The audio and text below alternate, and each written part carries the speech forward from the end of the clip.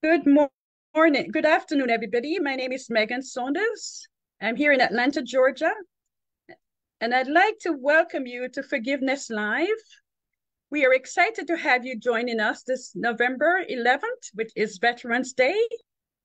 I'm, I'm calling in or tuning in from great city of Atlanta, Georgia, and excited to have the opportunity to lead this session today. I am the director and founding director and lead servant here at Forgive for Health Ministry in Atlanta, Georgia.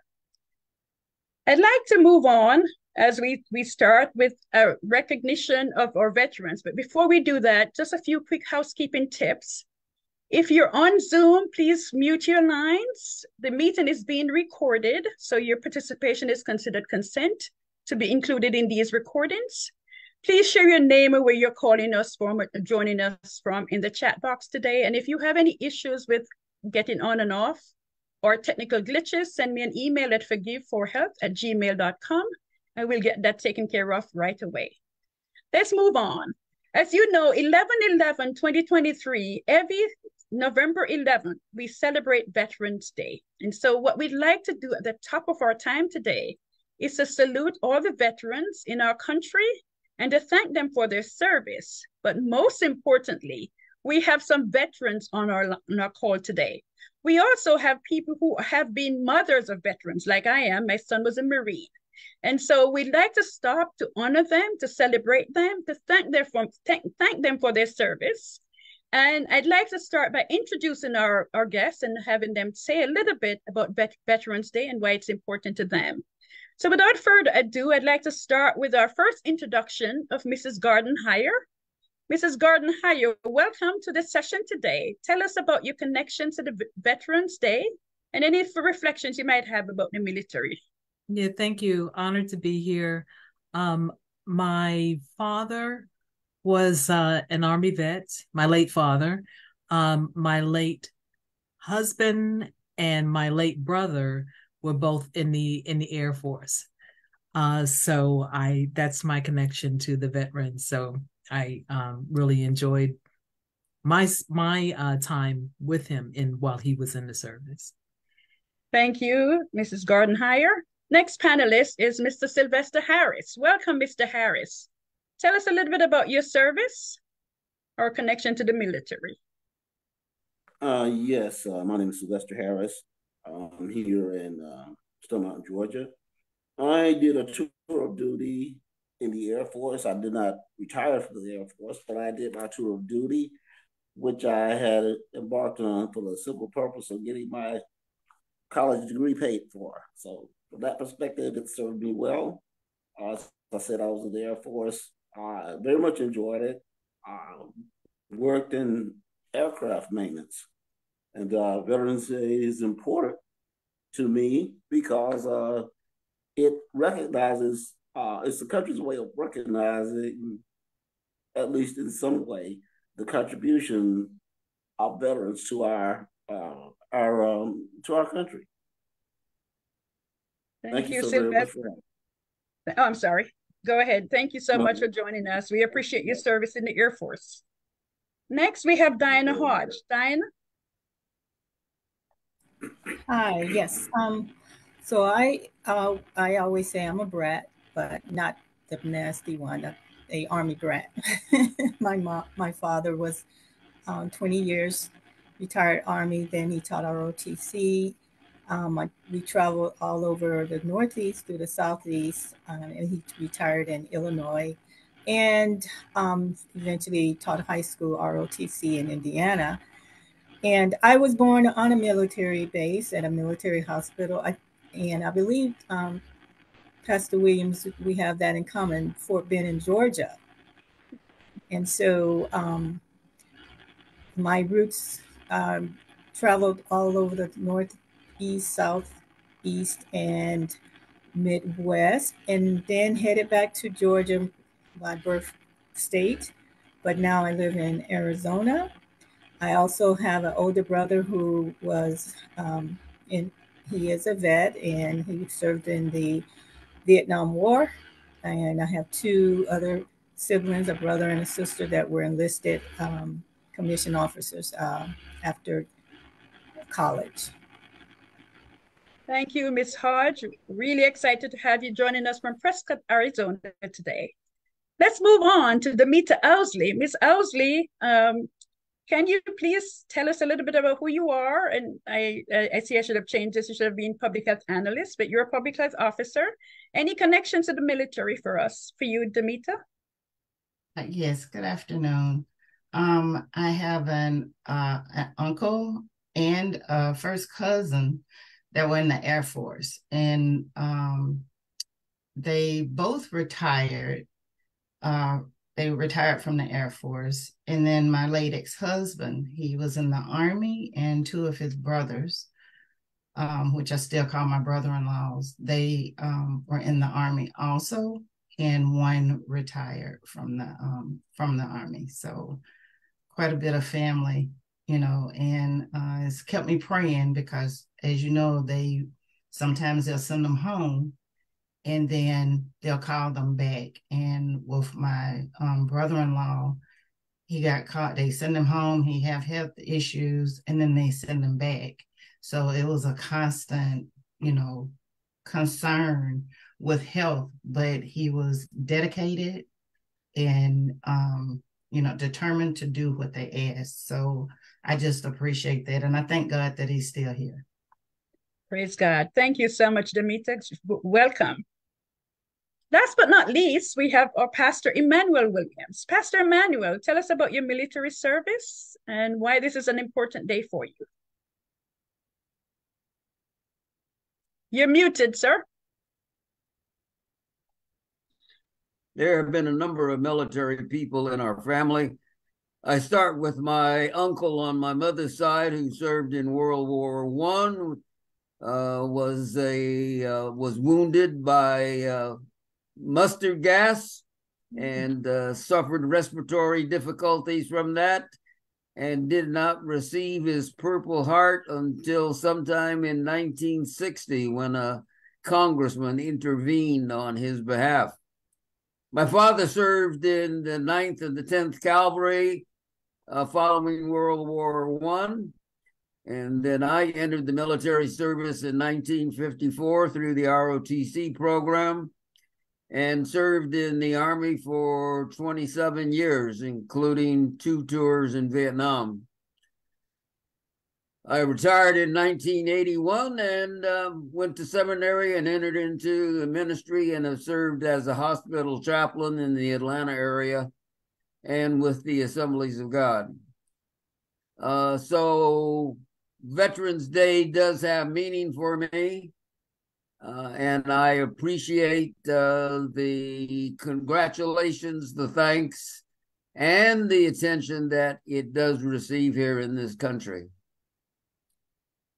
Thank you, Pastor, for your service. And before I jump on to the next slide, my son also served five years in the Marine, U.S. Marine. And my ex-husband was in the Army and served some time in Korea and other places. And so we applaud each of you, but also want to remember the family members who are here either traveling with people as veterans, but also ha uh, maybe have lost some of those on the way. And if they're here alive, we are just grateful for all of the family also who support veterans because without somebody supporting you it's very difficult. So i want to thank you all for your service. And i know some of you actually work still with veterans. Diane i know you are um, and so for your contributions whether being a, a military brat being a military veteran or just currently serving veterans to take care of them now that they're home. And so thank you. Let's give everybody a round of applause for their their their care and and commitment to this country. And thank you each of you for what you have done for us so we could get up today in a free country not worried that we need to go to our mailbox and being shot at because we live in a in a brave and um, America. So I appreciate each of you. Don't take it for granted because anything could happen at any time. So I wanted to, to take the first part of our time today to really applaud our veterans, to thank them for their time, thank them for their commitment, because without you, we would not be able to be in this country and to enjoy the privilege and benefits that we do. We'd like to move on for the second part of the session to look. Ms. Megan, can I just interact because um, I do currently work um, at the VA with veterans, and not sure I've been a, I've been in the military realm for most of my life, but not until I started working with the VA seven years ago. And I've been a healthcare provider for over 35 years. Did I not receive the the mo- these are the most grateful group of patients that I've ever worked with. Um, they will thank you for your service as we are thanking them for their service. So, again, the veterans, when they know that you care and you show them that, they are very much vocal in letting you know that they're thankful. Thank you, Diane. And I, you know, I mentioned that you um you work with them, but I appreciate that. Yes, that's what I hear and understand. And so I, I I know you count it a privilege to be able to serve them there at the VA and you know in, in Arizona. So thank you so much for your time and your contributions, keeping them healthy, know that they're back home and taking care of them. Thank you so much. Let's move on unless somebody else has a comment. Anybody else on the line want to say anything about Veterans Day? Yes, I would also add uh, that I give thanks for my family who uh, endured uh, my time in the service. That it was my uh, deceased wife and my three children, uh, one of which was born in Germany. And so, yes, uh, they played a major role in my time of service and I greatly appreciate their faithfulness and their support during that time. Thank you, Pastor. I agree with you totally. Any final thoughts about being this celebration of the day? All righty. Thank you. Let's then move on. Uh, uh, uh I was just mentioning, uh, trying to introduce a topic for the rest of the time. We had a session last month and had numerous requests for a part, part two. Actually, somebody sent me a message and I really, really, really touched my heart. She said, and I'll quote, that session should have been bottled up and sent to every singles ministry in this country. You are, this panel did a fantastic job. So we know that people felt like this was really needed, that relationships are under attack in this country, divorce is at an all-time high. The, the, the list of things that are going on amok in our country is unbearable. And so the family is on the attack. And so anything we can do to help is appreciated. So I thank that person for sending that comment and keep sending those ideas and thoughts. I've had a lot of other questions and requests to add other things. So we'll do our best today to get to some of this. Um, September is Singles Month. Single Americans Month. So maybe next September or other parts of next year, we will focus on this topic again. But more to come. This is not the last time we will discuss this topic of singleness, dating relationships, gratitude, and forgiveness. Most importantly, you might notice the difference from last month is that we have an issue here related to gratitude and contentment. And it, it would I would be amiss to not include this because we are looking at we're on the cusp of, of Thanksgiving Day 2023. And what are we thankful for? Whether we are single, married, divorced, widowed, we should all be thankful. We got up this morning and we are alive. And so we'll talk a little bit about gratitude and thanks and Thanksgiving today as well. So without further ado, let me jump into the meeting's purpose and share a few other quick things with you before I dive into conversations with our panelists. We have these meetings every month, and we basically spend time talking with having very candid conversations about relevant forgiveness topics. And then we offer tools and resources to our listeners so they can successfully navigate these issues. So if you're listening and single, you're listening or widowed, we have something for you today. And whatever the topic is, we'll provide resources. So that's the purpose of the meeting. Um, I'd like to start because I think it would be inappropriate to not tell you a little bit about what we do at Forgive for Health. And we are a Christian based faith-based organization, Christian faith-based organization here in Atlanta with a 501c3 designation. We're located in Stone Mountain, Georgia, but we have a global footprint. Wherever God opens a door, we have gone. We are led by a diverse board of directors, including our pastoral lead, Pastor Emmanuel Williams, who is one of our guests today. And this started with just the stirrings of the Holy Spirit after my doctoral studies on forgiveness. And Pastor Williams and I were worked on that study together. And God, there was so much things we saw in that study, so much things we heard that I just could not rest until we did I did something about it. And so Pastor and I have been in this through the study, through the ministry, and I just celebrated 10 years post doctoral studies. So, so it's been a while since we've been at this.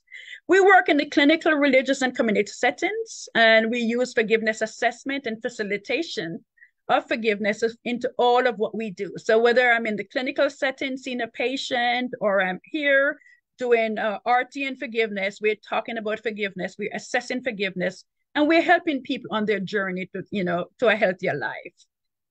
Um, here is our value and mission, vision and mission. We we heal all relationships for good. We know that there are many times that you maybe put a band-aid on something and didn't really dig up the reason why there was a problem. Unforgiveness could be the root. So we help you to get to that and heal all relationships for good. Our vision is to see people living free of unforgiveness and all of its consequences. And if you've had a minute to look at our website, you can see that unforgiveness causes a whole slew of health problems hypertension, diabetes, um, gain, weight gain, arthritis. I mean, the links go on and on, uh, the list go on and on. So don't just push it under the carpet. Let's do something about unforgiveness. And our mission statement is to help people grow and thrive with a forgiving heart. Um, here, here's a quick overview of some of the programs. We have an RT and forgiveness program for adults. We have a kids program.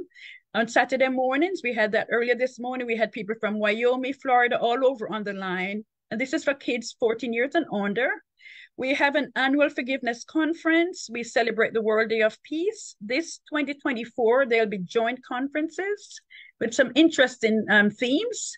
We have an RT and diversity and DEIA program, which we offer to workplaces. And then we have this program every month. We offer forgiveness boot camps and trainings. And I even do diabetes and chronic disease management.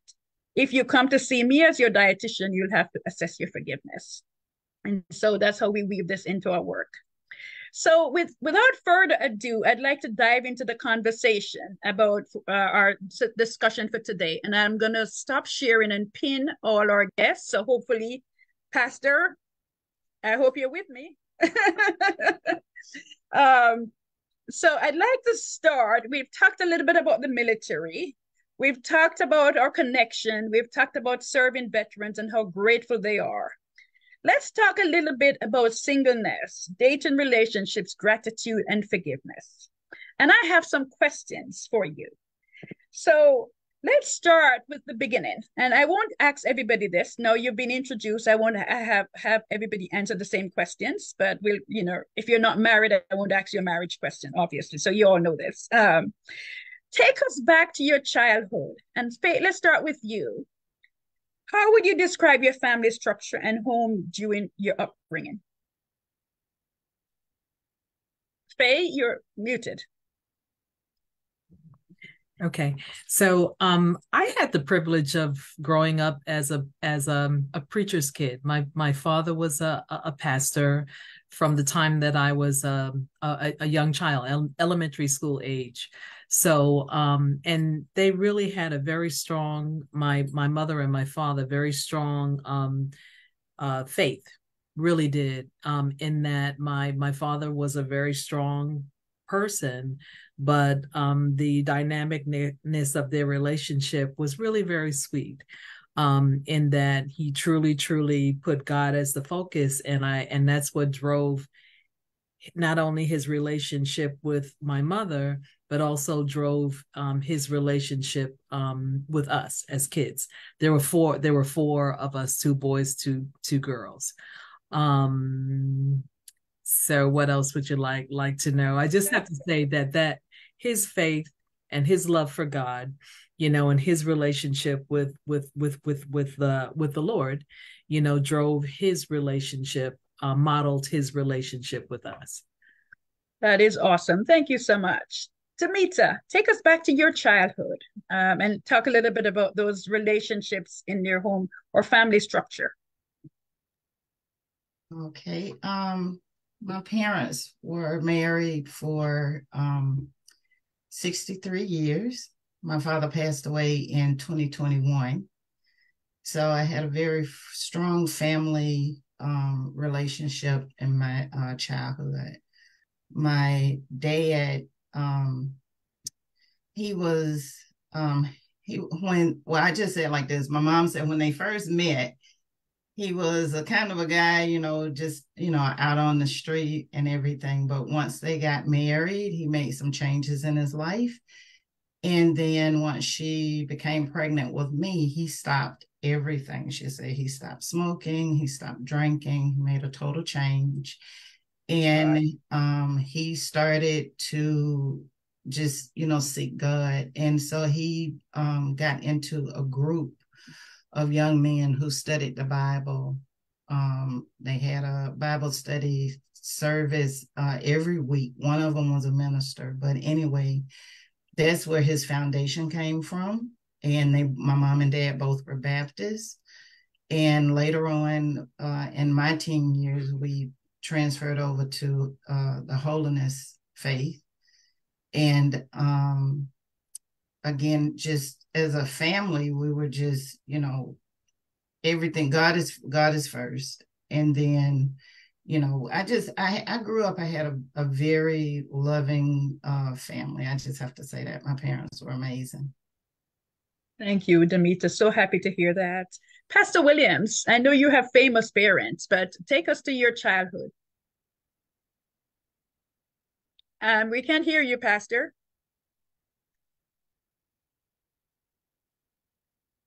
Uh,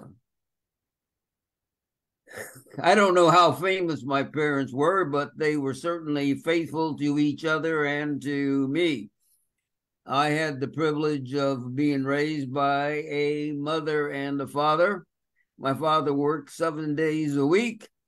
Uh, when I was a child, I would only see him on the um, on the weekends uh, during the break in his uh, in his work schedule. But uh, it was a home that was built on certainly spiritual principles my mother was very active in the uh, church that uh, we attended, and my father also. Uh, my mother had been to Bible school, so she uh, participated as an associate pastor in the church. Uh, and so there was a great emphasis on living in accordance with uh, the Word of God and that uh, probably led to my coming or making a profession of faith when I was 16. Uh, my father lived until he was 74, and my mother lived until she was 97. So uh, I have fond memories of my parents uh, because my father worked on the railroad, uh, we were able to get passes every year and we would travel throughout the United States uh, to include the South. And um, those are those are i'll say experiences that uh, are very well remembered Thank you, Pastor Emmanuel. Thank you so much. Sylvester Harris, you shared a little bit about your, your background last time you were here. Do you want to share a little bit about your family again? You're muted. Hmm. Certainly. Uh, yes, I uh, came from uh, what you would call a broken home. Uh, my mother and father were married, but she separated um, from my father when I was three. And I was the youngest of six boys that my mother gave birth to. And uh, and so I didn't get a lot of my mother's love that I could remember because um, she was gone. She left the home, like I said, when I was three. I I do remember it been a little bit traumatic for me because I can remember as a three year old very clearly the day that she left, walking out on the porch um, in my birthday suit, totally naked, and uh, asking her if I could go with her. And she told me that I'll be best off staying with my dad. And she was probably right because she didn't have any idea how she was going to take care of herself, leaving the deep south, a small rural town in Georgia to go to uh, New York, New York, I think New York State somewhere. But anyway, my father raised me, um, and he showed me about as much love as you could, uh, as he as he could anyway. Uh, so I I, I uh, didn't have any problem with my father showing me uh, positive attention. I was the youngest child, and the youngest always uh, given a little bit more attention.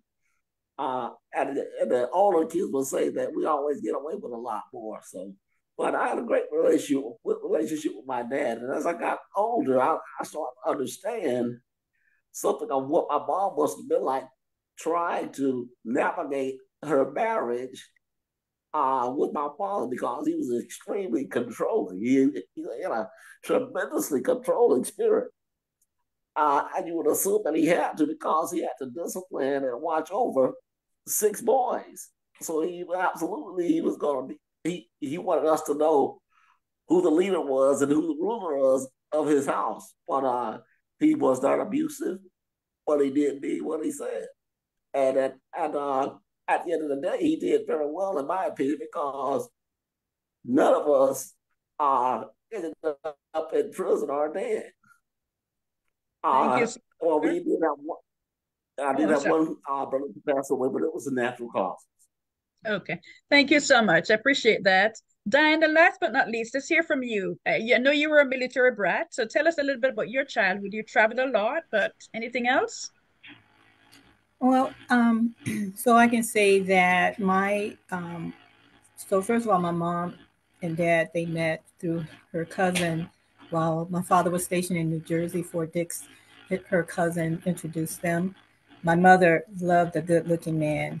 And so they instantly um, fell in love and ultimately um, my my family was a family of eight and my mom um, grew up in the AME church. My father, mom passed when he was 16. And so actually he joined the military when he was 16 and they allowed it. They usually have to be older. But um, ultimately, so his his um, adult years weren't very spent, I believe, in a Christian environment. However, my mom, she was the rock in terms of providing us that spiritual influence, and, and that being through her mom. And so um, ultimately, although my mom, being in the nursing field, wasn't able to go to church every weekend because she would be working every other weekend, but I tended to be the one who accompanied her.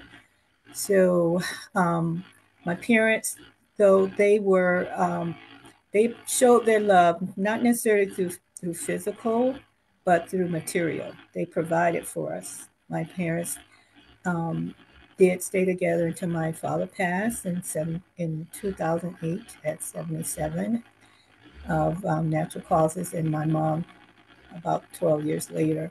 But um, my father and mother were dedicated to providing for their children, having food on the table um, my mom worked the evening shift, so she would always have the food on the table when we got off from school. And my father, being a teacher, he that's how they managed to make sure that the parent was in the home.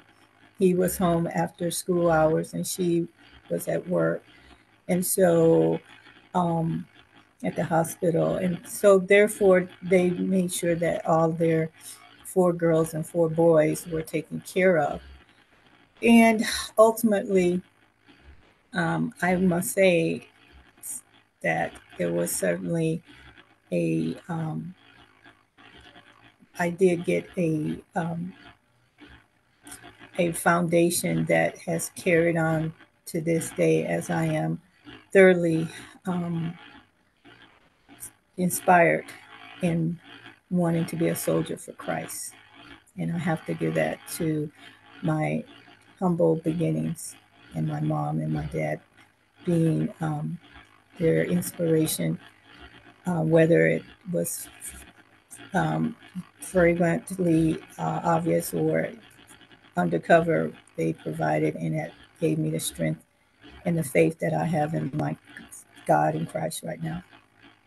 Thank you, Diana. We have some static in the background. I don't know what is going on. Um, so if, if you're not speaking, if you don't mind muting your phone for us, because there's a, there's a hum, I don't know what it is. And um, so thank you, everybody. Um, for me personally, I'm sitting here on the panel. I, I am a motherless, fatherless child. So Psalms 27, verse 10, where it says, when your mother and father forsaken, then the Lord will take you up, has been my verse for over six decades. Because unlike all of you, you know, I was like Sylvester. I was, I was raised by my grandmother. We have some disturbance. Can you keep your your phones on mute, please? I'm not certain what's going on, but um, so but I'm I'm so happy to hear that because and people may be wondering on Facebook, why on earth are you talking about relationships and asking about childhood experiences? we know that the things we see and the things we look at, the things that happen to us actually shapes us. And so whether it's divorce or abuse or whatever it is we saw, or the foundations that you had in a good home, helps to help build your relationship. So you're modeling what you learn. Most times people will say, well, my kids are not following me. Eh, they don't listen to me because they're not seeing you. They're not seeing you doing the right thing. But most of you here, except maybe myself and Sylvester, had a solid family relationship, had wonderful family members and parents. And so I'm happy for you. And I, I know for Faye, for instance, in, in, in Mother's Day, we brought her and her mother and her daughter here. And the legacy has been passed down to generations. And so thank God for that. So you guys, I just wanted to move on because I'm looking at the time. Um, I wanted to to sort of just throw this out, and I will maybe start with you, Diane.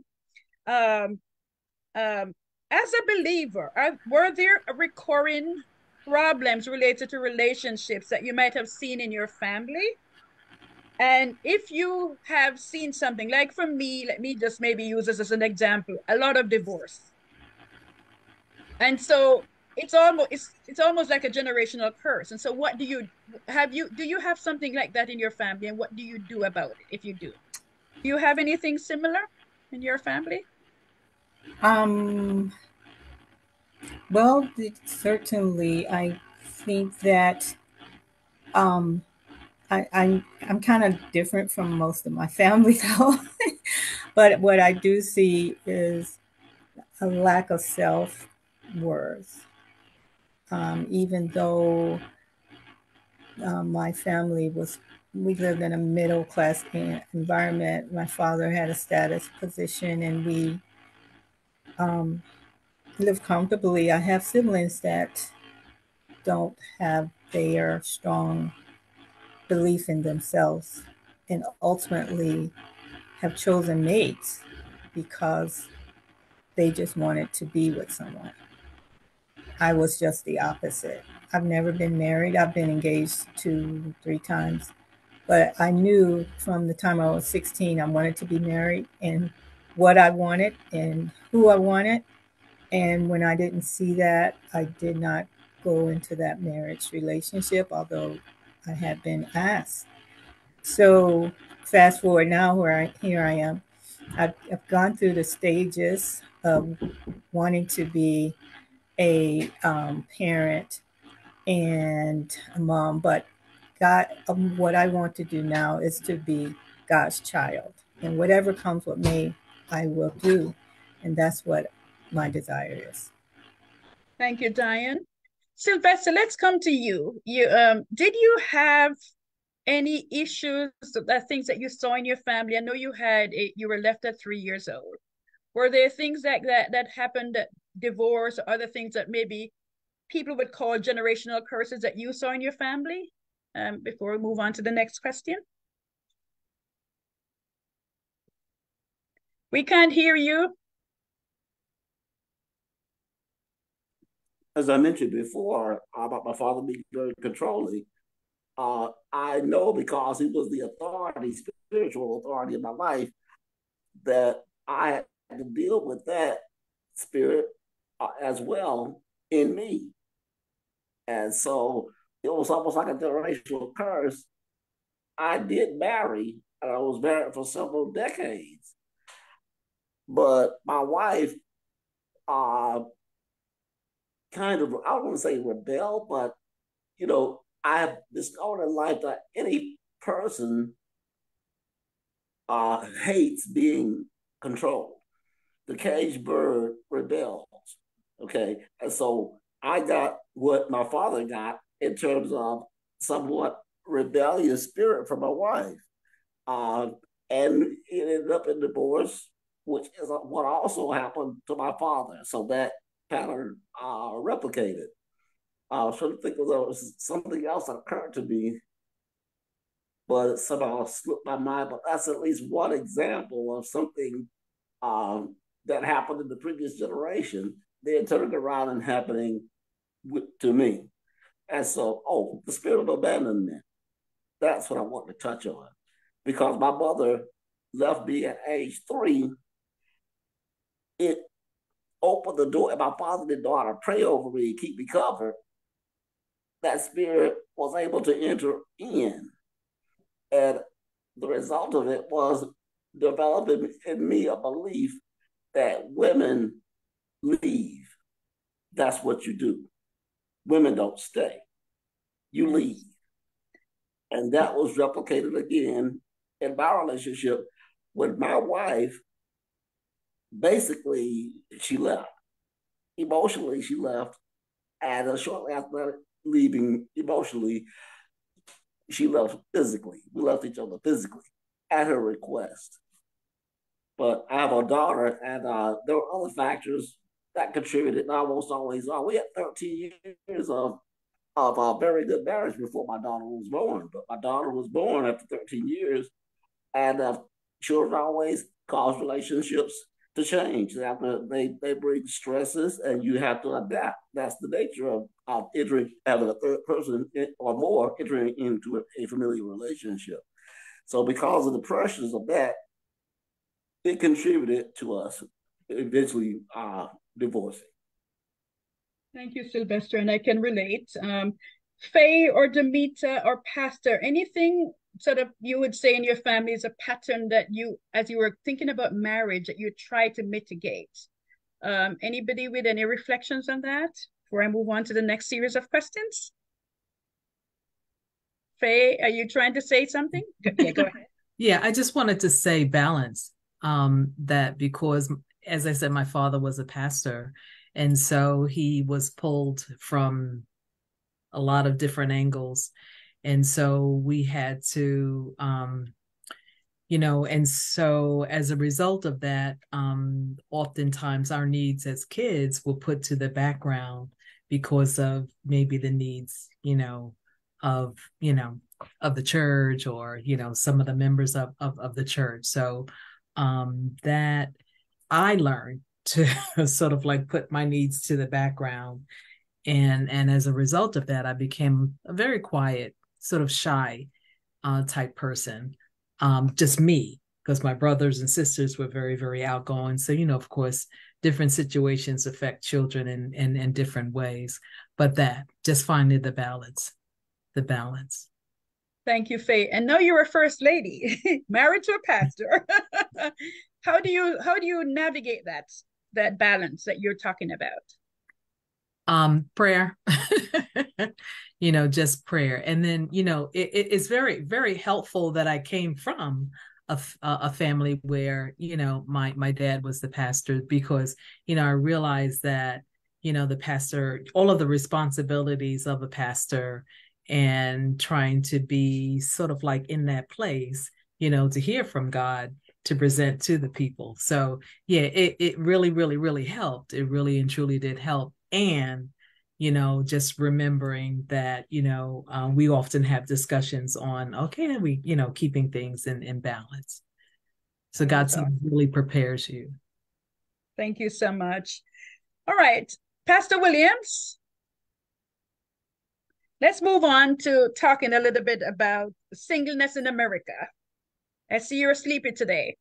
Singleness in America especially in the African American com- community, is at an epidemic proportion. Pastor, to what do you attribute this this this topic or this issue, this data? Why do you think there are so many singles? Forty six percent of Americans are single. To what do you attribute that? And the, the rate is higher in African American communities. Why do you think that's the case, sir? You're on mute, Pastor Williams. You better hold up a sign saying mute, unmute. Um, I don't know that there's one specific reason for that, uh, but there has been shifts in uh, living patterns in the last 50, 60 years, um, specifically here in the United States. And I, I think also there's been a greater emphasis on education. Education has become more attainable than it was 50 years ago. And so, uh, young people who are in that particular spec- specter of their life uh, seem to be more interested in pursuing a profession. And in as a result of that, they, I don't use the word delay, but they marry at a later age than perhaps their parents did. Um, and there also could be economic reasons for that. When my parents married, it was in the middle of the Depression. Um, when I married, it was, let's see, 30, 40, 50 years later. um, that was not the case. I don't I have not seen anything quote in in newspapers, magazine articles uh, which give us a reason for it, except that values have changed. Uh, and I would also say that one of the major social changes that has taken place is of people living together before they get married. When I was, uh, when my parents married, when I got married, it was um, the expected thing. Um, but nowadays, there's uh, a tendency to either want to cohabit with uh, another with with the opposite sex, uh, either as a trial basis or for. Let me ask you something. What, I don't know what that noise is. Somebody else is on tapped into your system, but um, there have been those social changes, sociological changes that have taken place with, especially within the United States. And so we see people now waiting till their 30s and in some cases their 40s to get married.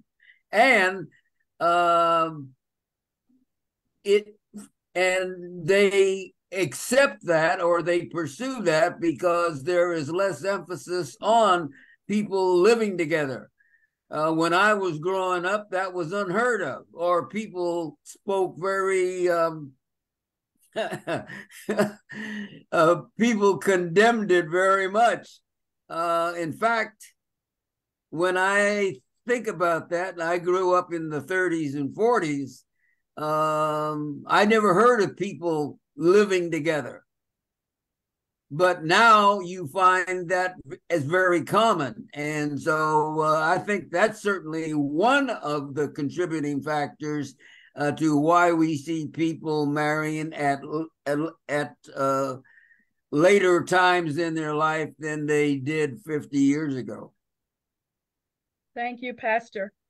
Um, Demita, what do you think Pastor talked about sociological changes. Uh, Pastor talked about changing values, cohabitation.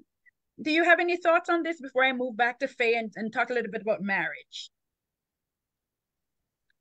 Demita look amazed um, that I'm asking her this this question. Yeah.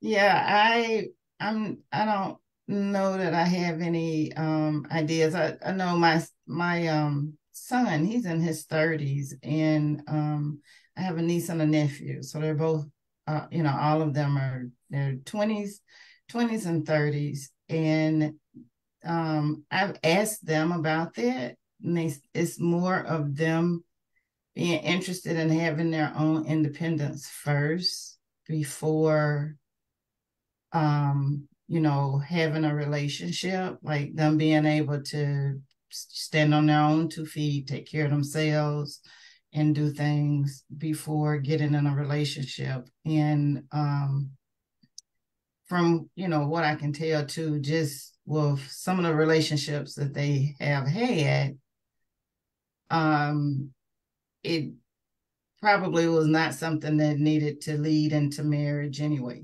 And um, I would just say, you know, for myself, I'm speaking about them, but even with myself, I've actually been married twice.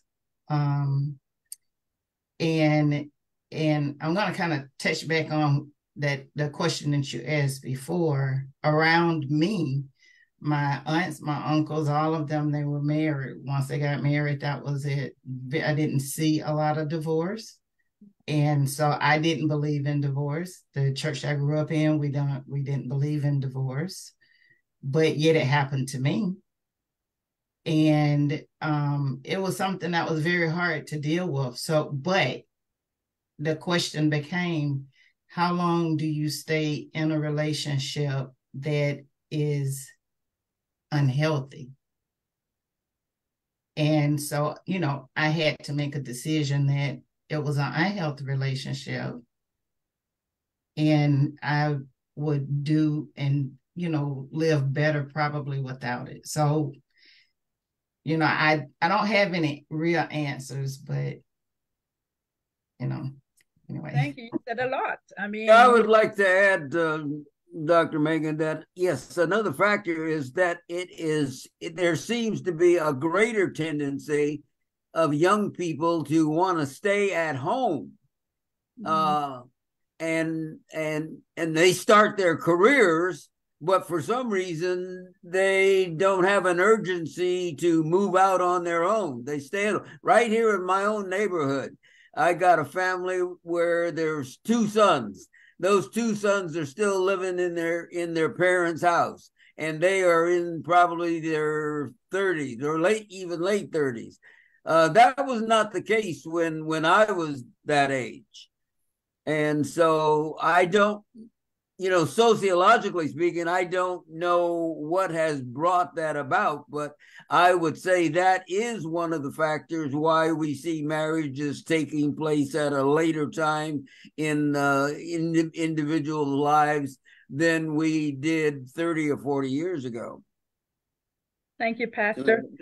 When I got, when, yeah, when I was 20, when I was 23, I was ready, when, when I finished college, I was ready to move out. I had no desire to stay at home, and uh, and the army provided a good uh, avenue for me to do that. Thank you, Pastor. Yeah, give Diana goes first because uh, she's had her hand up, and then I'll come to you, Sylvester. Thank you, Diana. Go go quickly, please. So, oh yes, um, so I wanted to add to You mentioned that Black women are the most educated um, women, um, educated um, people. And ultimately, with that comes a woman that desires to find someone that is equally um, minded. Yeah. So, intellectually, monetarily, et cetera, et cetera. Mind you, you don't have to be educated to have an intellect equal to your partner. But nevertheless, it's hard for a educated woman to find someone that meets her intellectual needs. And so that could be a part of it. And unfortunately, another issue that we're finding with immorality is women and the LGTB um, women are now turning to other women for relationships. And unfortunately, um, that's another part of the equation. Thank you, Diane. Let's hear from you, Sylvester, and we'll wrap this up and move into marriage. Can I? Oh, I, you're we're freezing up a little bit, so I didn't tell. I'm hoping that you said I can speak. Can you hear me? Yeah, go ahead, please. Uh-huh. Uh, yes, I have just one observation to make, uh, and it cuts across uh, all of the other factors mentioned by the by the guests, and that is the decline of marriageable African American men.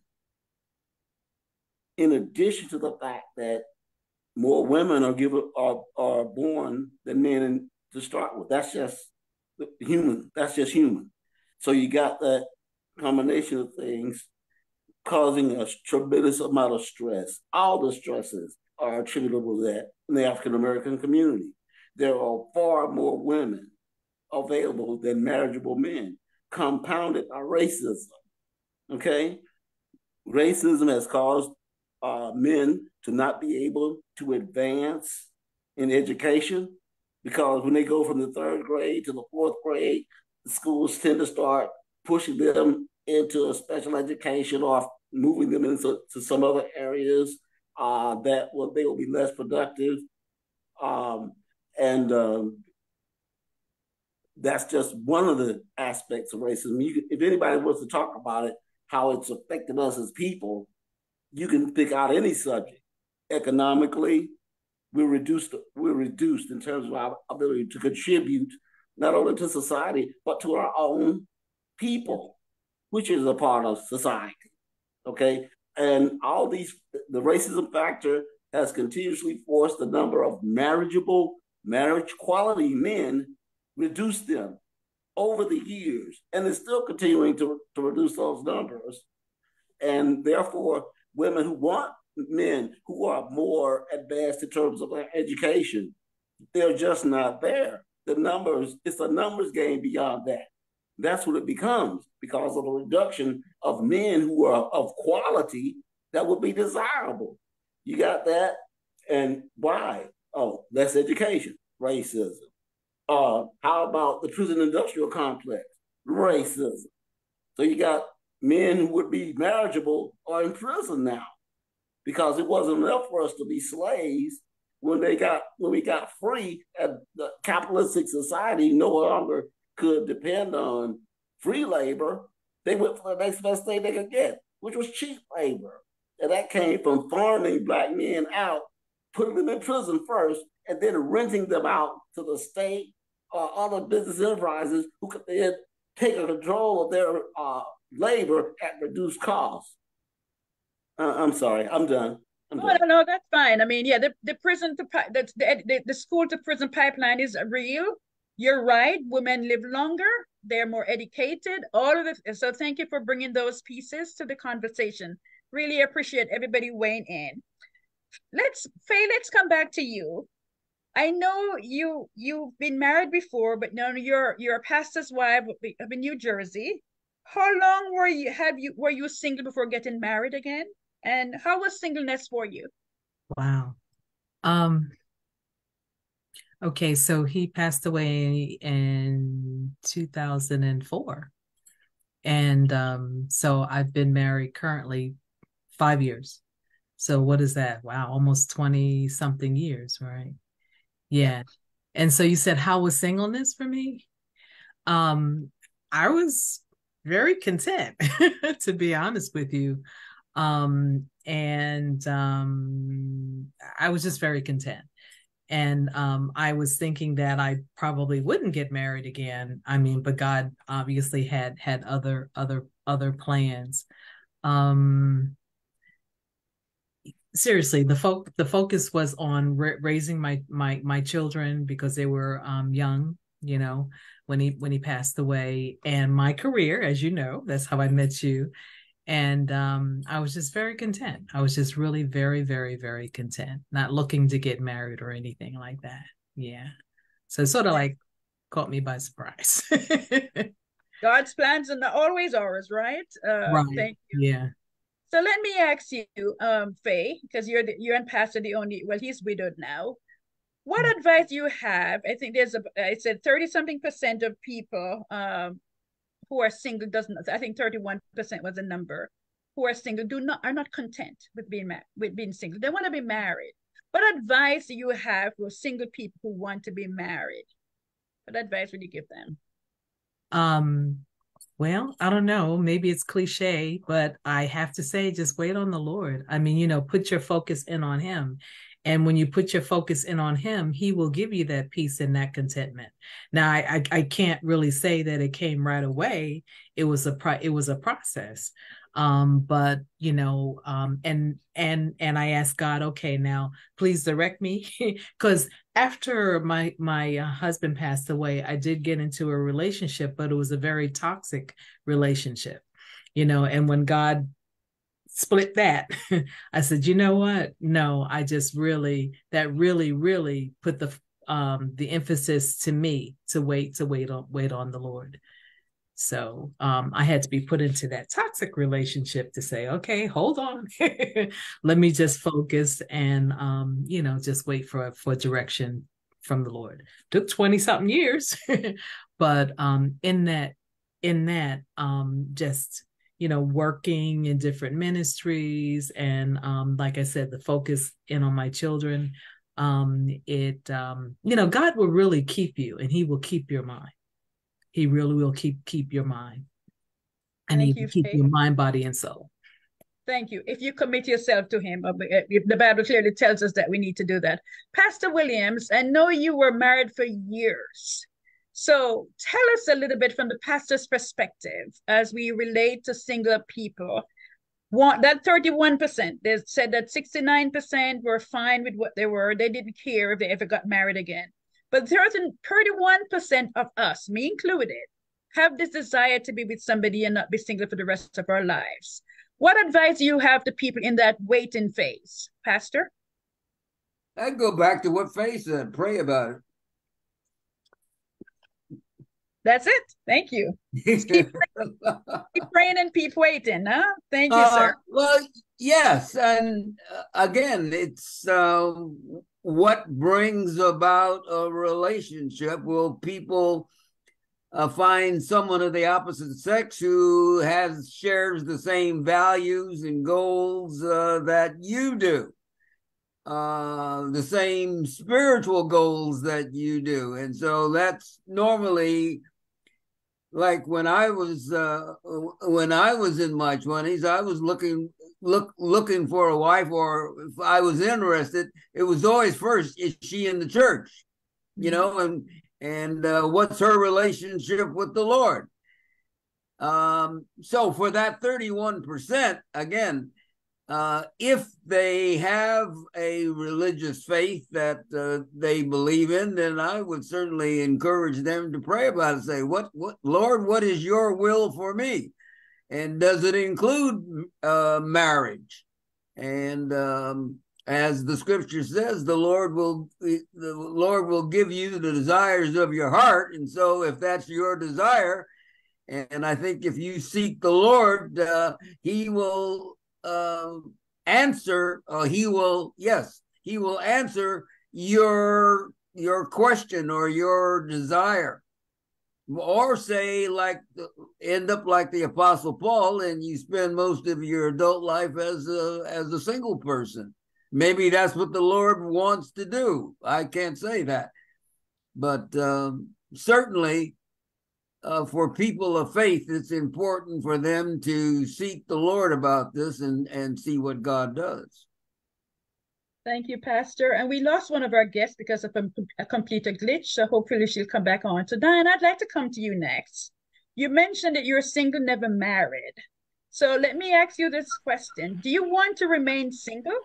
And if not, what have you done about it? And if yes, how did you get to that space of contentment? And what advice do you have for those struggling with singleness? So it's a multi-pronged question, and I can repeat it.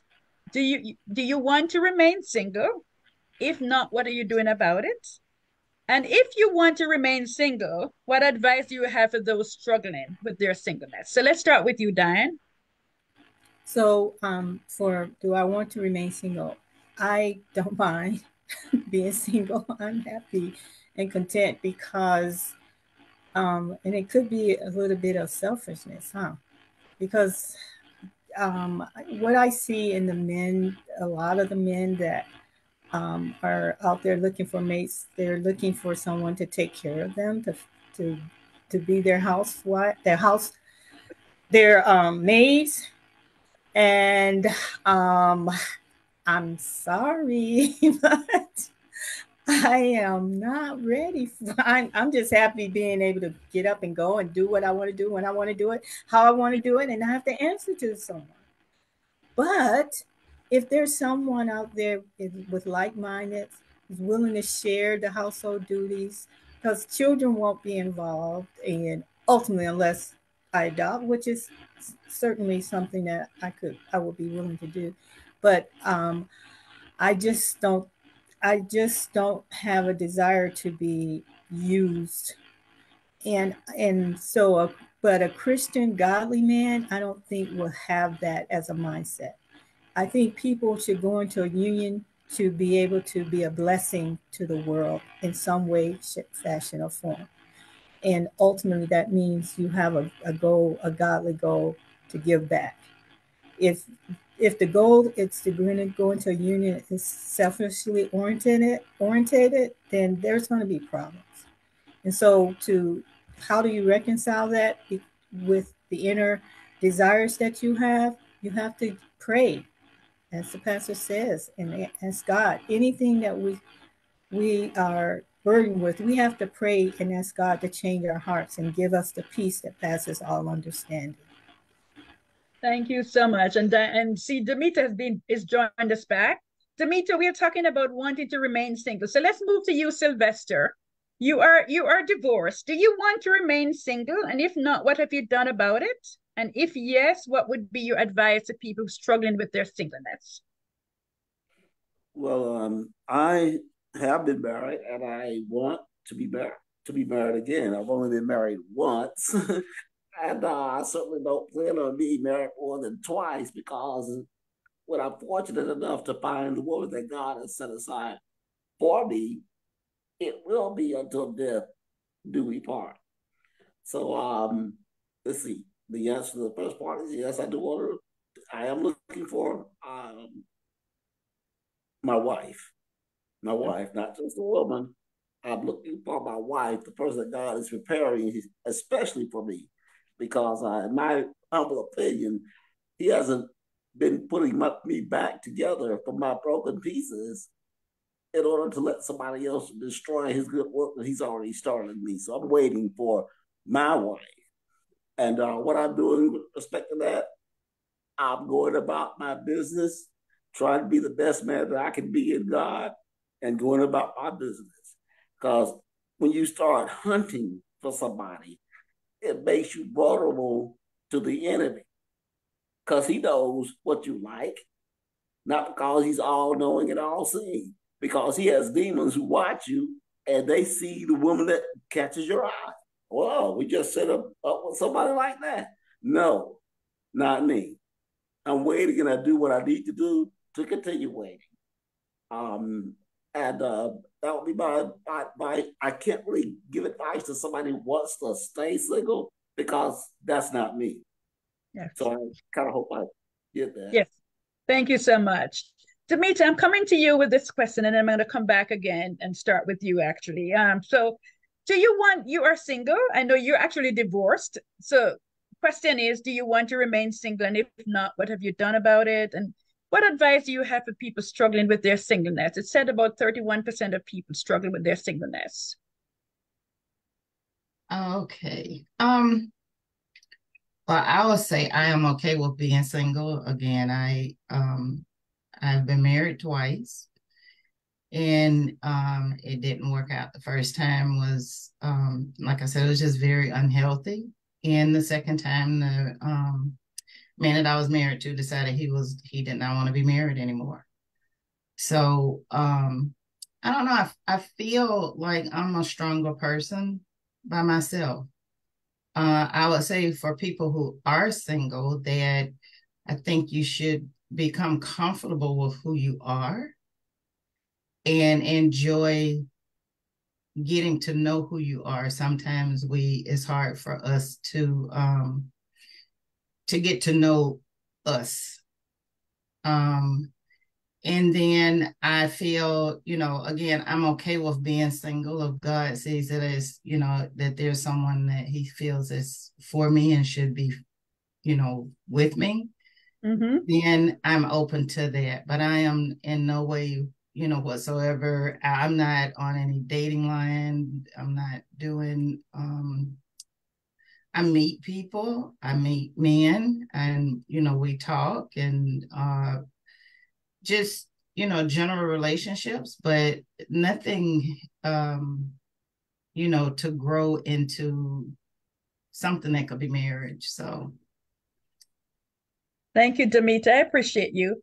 I'm actually going to give you a chance to catch a breath, and I'm going to go back to our pastor, Pastor Williams. Yes. In the past, you know, in in our churches, you would be able to be find a eligible mates, right? We would be able to see somebody at work or somebody at church, uh, and and be able to find somebody. I, I met my last husband in a singles ministry, so um, I wanted to see from your perspective as a pastor, what do you say to the women who may be in a church that has no eligible men? And he's laughing his head off already. Some churches have gone online, pastor, so you can't see anybody. It's not like you can run into them in the coffee shop or the break room or, or the bathroom. What advice do you have for singles that may find themselves in this situation, sir? From your pastor. And I'm coming next to you, Faye, to see if you have thoughts about that as well. I I figured you were going to ask this question, and uh-huh. the uh, the thought came to me. It it's certainly for, for believers. I'll say start with that first. For believers, I think it's important that um, within the church community you have an understanding that you're going to look for somebody who has the same spiritual values and beliefs that you do. That's that, and that you are going to restrict your search or your interest to people of like mind who are like minded. Uh, and I think that so. I think the um, what should be done or what can help in this matter is the importance of churches having a ministry for singles. Uh, you did that when uh, several years ago at the tab. Uh, I don't know how many people married out of that, but there was at least a couple, I think, that did.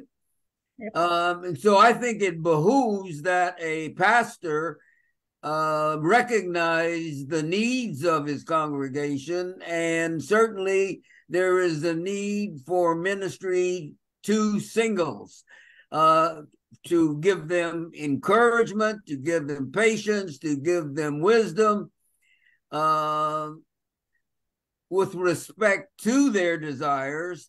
And hopefully that would facilitate uh, those who are single and who want to get married to find an acceptable partner uh, within the church. Um,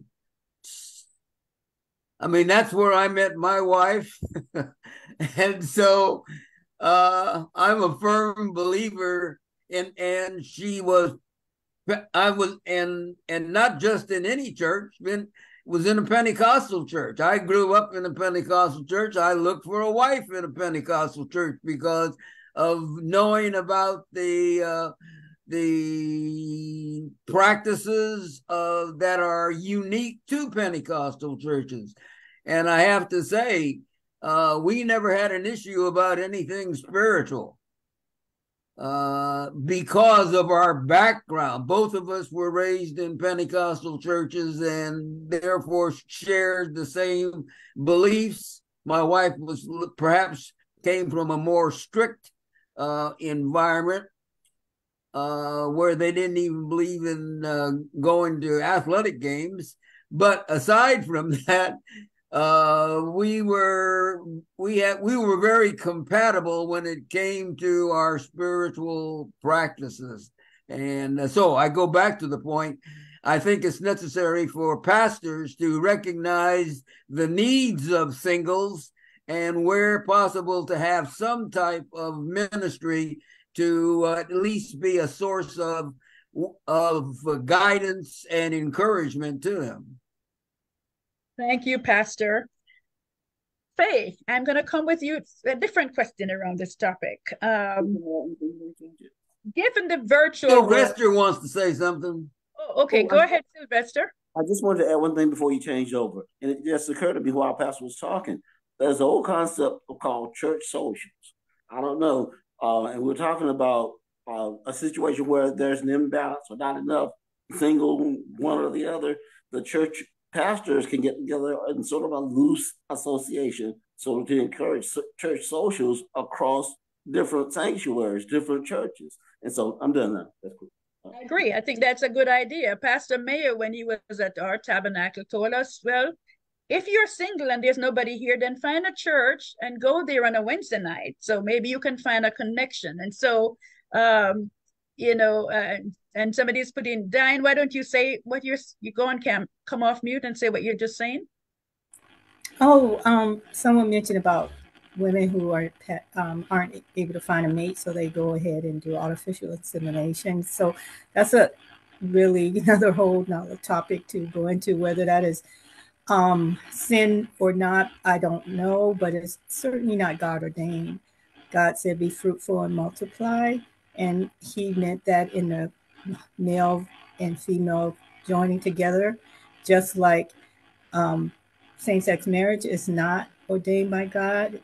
God, um, God um, ordained Adam and Eve to procreate this earth, to recreate and pre- repopulate this earth. And so, if we use the, the tactics and the cunning ways of Satan, this is how he gets into the door to open up other way, other things that will definitely be blatant sins that God would not be happy with. Thank you so much for that perspective. Uh, spot on. Thank you so much. Faye, let's move. And Sylvester, thank you for your comments as well. Faye, let's move to you. We just talked about scarcity of men for several reasons. The prison to pipe, prison to education, the school to prison pipeline. Um, especially in African American communities, it's like you have maybe 12 women to one man if you're lucky. Um, but it's a dangerous time to be dating. You know, years ago, you would meet somebody at the church and you would know that if you went out to him, with him, you might come back alive. But it's pretty dangerous in this 21st century. What um what do you what advice do you have for singles who might need to date? Um, how do they keep themselves safe? How do they keep themselves accountable given this we are in a sexually charged society? Do you have any thoughts on that, Faye, that you'd like to share from your your first lady's perspective? or, or lived experience? Uh, well, um, you know, it's always good to have an accountability partner. You know, someone who um, would hold, um, help you hold to a standard.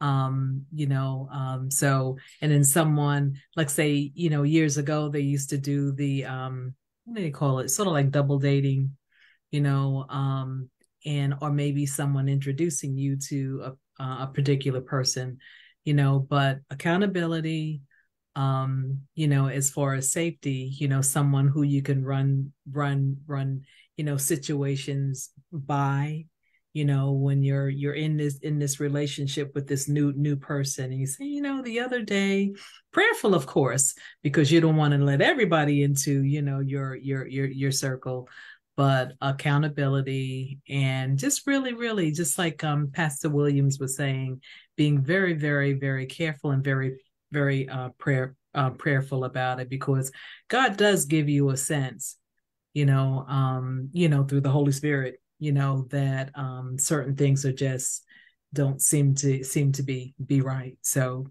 prayerful account and and accountability. Thank you so much. Um, so, Pastor, we want to move on to um, submission and balance, but we also have some questions related to other things. And so I'd like to maybe go bring back bring it back to you to say this question. The Bible clearly states that the man is the spiritual head of the house, but some men are weak in their faith. What should a woman do if she's dating a man like this? Um, do you have any advice for women who might find themselves with somebody who doesn't want them to go to church, doesn't want to pray, um, what is what is it that you would say to somebody who may be dating somebody like this at this time? Look, look for somebody yet. else. Look for somebody else. yeah, but um, that's that's certainly uh, part of the equation. But if she, if the woman it recognizes these deficiencies in the person that she's dating, um, deficiencies, if they don't share the same values about spiritual matters, then it's going to be up to her to raise those questions with uh, uh, the pers- with with her partner or friend, whatever title you want to give them, and uh, and then see what what's the answer. What does he say? Uh, when my father met uh, my mother, uh, he was not a Christian, and he asked her to go out with him. And she said no, she wasn't going to go out with anybody who was not a Christian. And I don't know the time period uh, between that event and when when he made a profession of faith, but uh, yes, with within a certain time period, he became a Christian and a very solid. He didn't he didn't become a Christian just to get married, but he took it seriously and was a strong Christian man uh, during the time of his during the time that they were married. Uh, so again, should a woman find herself in that situation, number as I said, number one, she has she should at least raise the question and determine what his answers are. And from that, let him know that uh, she is not going to pursue any further relationship or she's not she's not going to pursue marriage unless uh, he makes a determination of pursuing the Lord and becoming a Christian. Thank you, sir, for articulating that to us for us. Diana, I am I was actually coming to you, but go ahead and make your comment and then I want to know about your any dating relationships you might have had and if they were successful and what would you attribute your success to. So go ahead and make your comment and then let's jump on that topic. So, so yes, I wanted to say the one the man as biblically uh, indicated should be the head. So when you're looking for a man, you want to have a man that is going to be strong in that direction. What is the number one cause of divorce? Finances. So if this man has not gotten a good grasp of proper finances, that's that's a big red flag right there.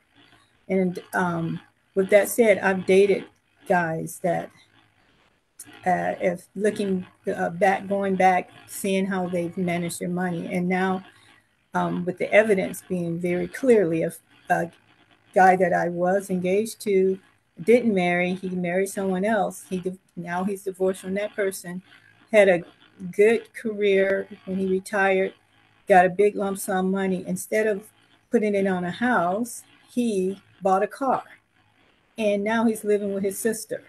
Oh uh, yeah, that would have been my fate. Okay.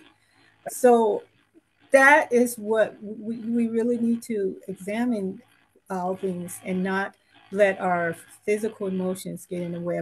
Many people don't realize when you touch someone, you emit um, oxytocin, just like in breastfeeding. And so that's that's that can be a bonding thing that could really um, compromise your thinking and ultimately make you make decisions that are not wise. So we have to move really wisely and retrospectively and spiritually as we date and also um, recognize what we want and how we want that to to roll out and have but first of all we have to have those good in, in um, intentions as well we have to be wise with our finances we have to be um, prayerful people, etc. So the other question was, um, have I had any relationships? I think I did answer. Dated relationships, have they been successful? And if, if they were, what would you attribute the success to? But it sounds like you've had, you were engaged to this person and unfortunately he went on to marry somebody else and he's, he's he, to his demise and um, he's not a manager, a good manager of money. I think that's what I heard from you. Well, and yeah, I actually did not um, continue the relationship. So ultimately, down the road, he did remarry. He had been married before, and and that's another thing. When someone was has been married before, I say to myself, you know, there's two sides to a story. What who who was the person at fault? Maybe both, but you can't just go by one.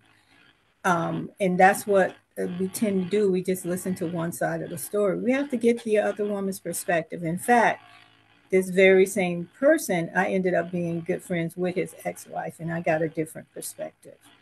And so, um, his ex-wife, and so again, um, I have, I to to say to answer your question succinctly, no, I haven't had any successful relationships because I haven't. It, it didn't go into marriage. So ultimately, if it had been a successful relationship, I would probably be married by now. But I will say I don't put myself out there. I don't look for relationships. For for the longest time, I I just I, I move very under the radar, and I'm waiting on the Lord to to make those moves. But ironically, the craziest thing, the people who come after me are married men. Hmm. And I definitely can't go there. Hmm. I agree so, with you.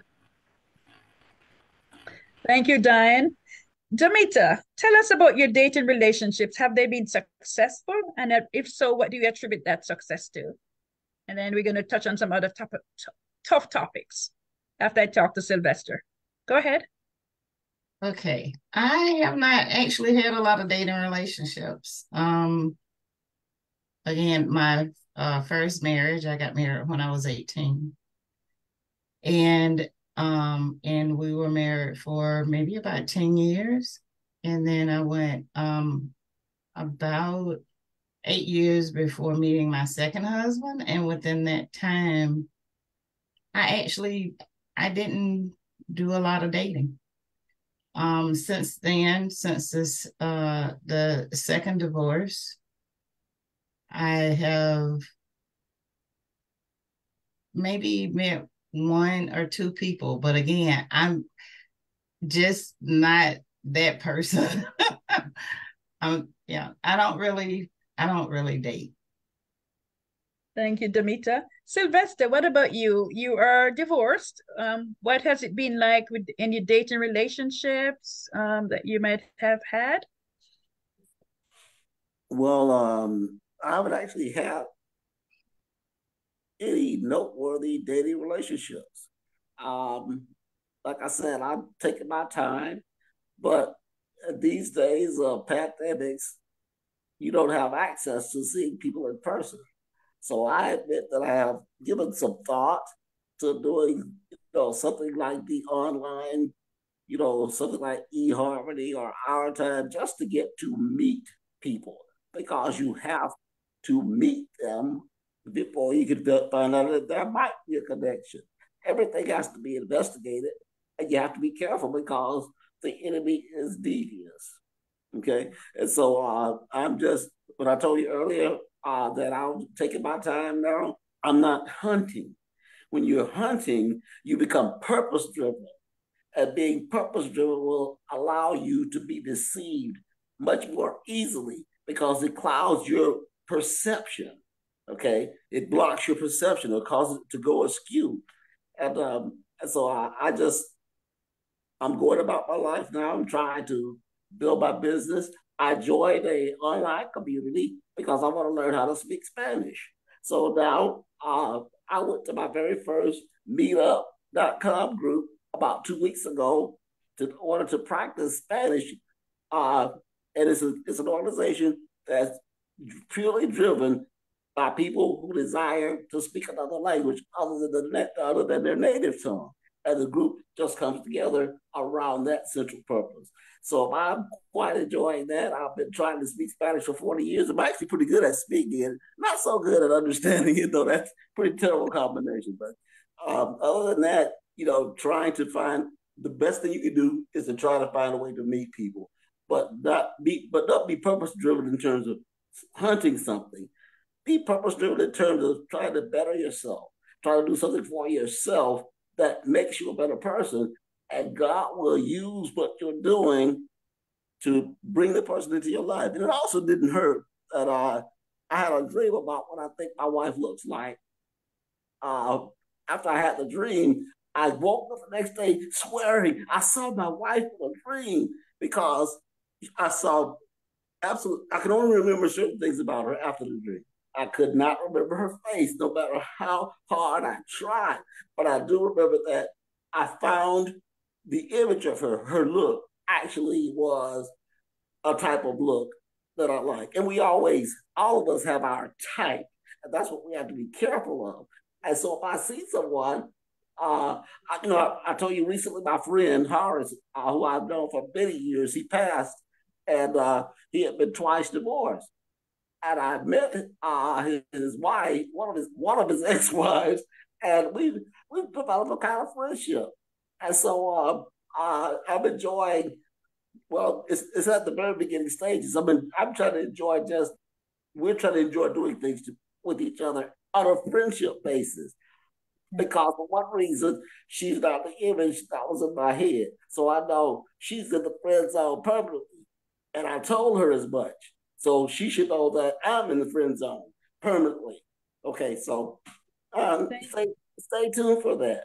Stay tuned Thank you, Sylvester. We wish you well. All right, we'd like to, unless anybody has, has any other comments, I'd like to transition to sexual intimacy, contentment, and gratitude and call this a wrap for the day. Pastor, I come to you first. The topic of sexual intimacy outside of marriage is a taboo topic in the church. But how should Christians navigate this space? Um, last month, we had some good advice from Dr. Danny Wade. But what other advice do you have for singles who might find themselves navigating a very sensuous world? I mean, they, you know, you sell a car with sex in this country. What advice do you have for people who might, you know, as Christians, how do we keep ourselves pure?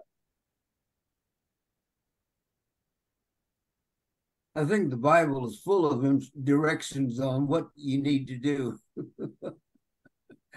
I'm very, very clear and very specific. Um, that yes, that definitely is a challenge in the world in which we live now. The social values that we have now, uh, where uh, sex outside of marriage is no longer taboo; it's considered the norm. So therefore, as a believer, uh, you have to take that into consideration. Uh, do I pursue what the world is doing, or or non Christians are doing, or even I'll just say, do I pursue a lifestyle that is contrary to the Word of God, or or not? That's where it starts, and one has to make a decision. Uh, and if you are a believer, it's very clear. You go to the Word of God, and it tells you what you can or you can't do. And therefore, um, I would again, I say you have to emphasize to uh, singles who are in that, who face those challenges, that there is only one answer, and that is to depend upon your relationship with God uh, if the Holy Spirit dwells within you, as the Bible says it does, it's very clear that the Holy Spirit is there to give you the strength, the will, the ability to resist temptation, uh, and to um, and to serve the Lord. So it's I'm not saying that's easy, and especially if you are in a uh, society or a um, social gathering where people don't share that belief. Uh, it becomes it can become very very difficult. Um, that was that was certainly true uh, in the army when uh, we were deployed overseas, and um, and and and and what and wives didn't accompany.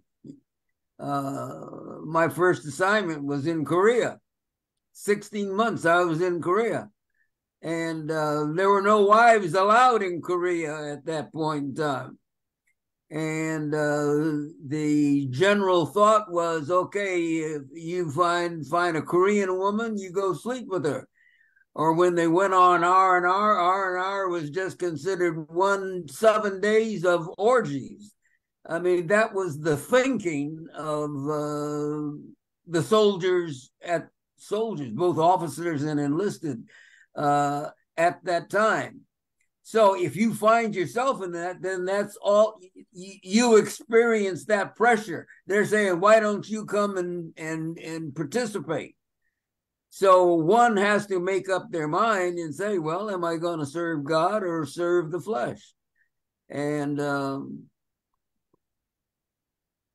hopefully one would recognize that uh, God is able to help them through deal deal with those urges. The apostle Paul was very clear about it. He finally said, he said, uh, marry and don't burn, don't burn in uh, in with with desire. Um, he recognized that the pressures of uh, sexual advances and activities in his day. That was 2,000 years ago. Well, it hasn't changed. If it's changed, it's gotten worse. You you turn on television and you see ads that are very provocative. You go to movies, you see now you don't just see people uh, getting near sex, you see them participating in sex. So uh, it is even more difficult now than it was 50 years ago, 100 years ago, to deal with that issue as a believer. And so, therefore, I say the the the course of action that is open again is to seek God, and maybe God is going to lead you to somebody who will become your your mate. In the meantime, you got to depend upon God to give you the strength to resist. And I'm not saying it's easy. No. Thank you, Pastor. Faye, I'll come to you next. What does a believer do um, for a single person or uh, maybe married that have fallen into sexual sin? What what advice do you have as a first lady? I'm sure you've had this experience in your ministry of people falling into sexual sin. The Bible clearly tells us that we, you know, we shouldn't look down on them because of, apart from the fact that it's God, that would be us. But what what advice do you give people who are falling into sin, whether it's sexual or otherwise, especially singles? What advice do you offer to them? Well, uh, can I just refer to your ministry, forgiveness? okay. you know um, you know um forgiveness i mean you know uh not not condemn because it's not up up to us to to condemn but you know i make it you can you know we often review with them the situation the circum circumstances but then just have you know like you said you know um off offer them offer them what god has um i guess um told us to offer them and that is forgiveness forgiveness and grace. Thank you so much, Faye. Diane, I think you had your hands up, and then I am going to talk a little bit about some very taboo topic, other ones. So go ahead, Diana.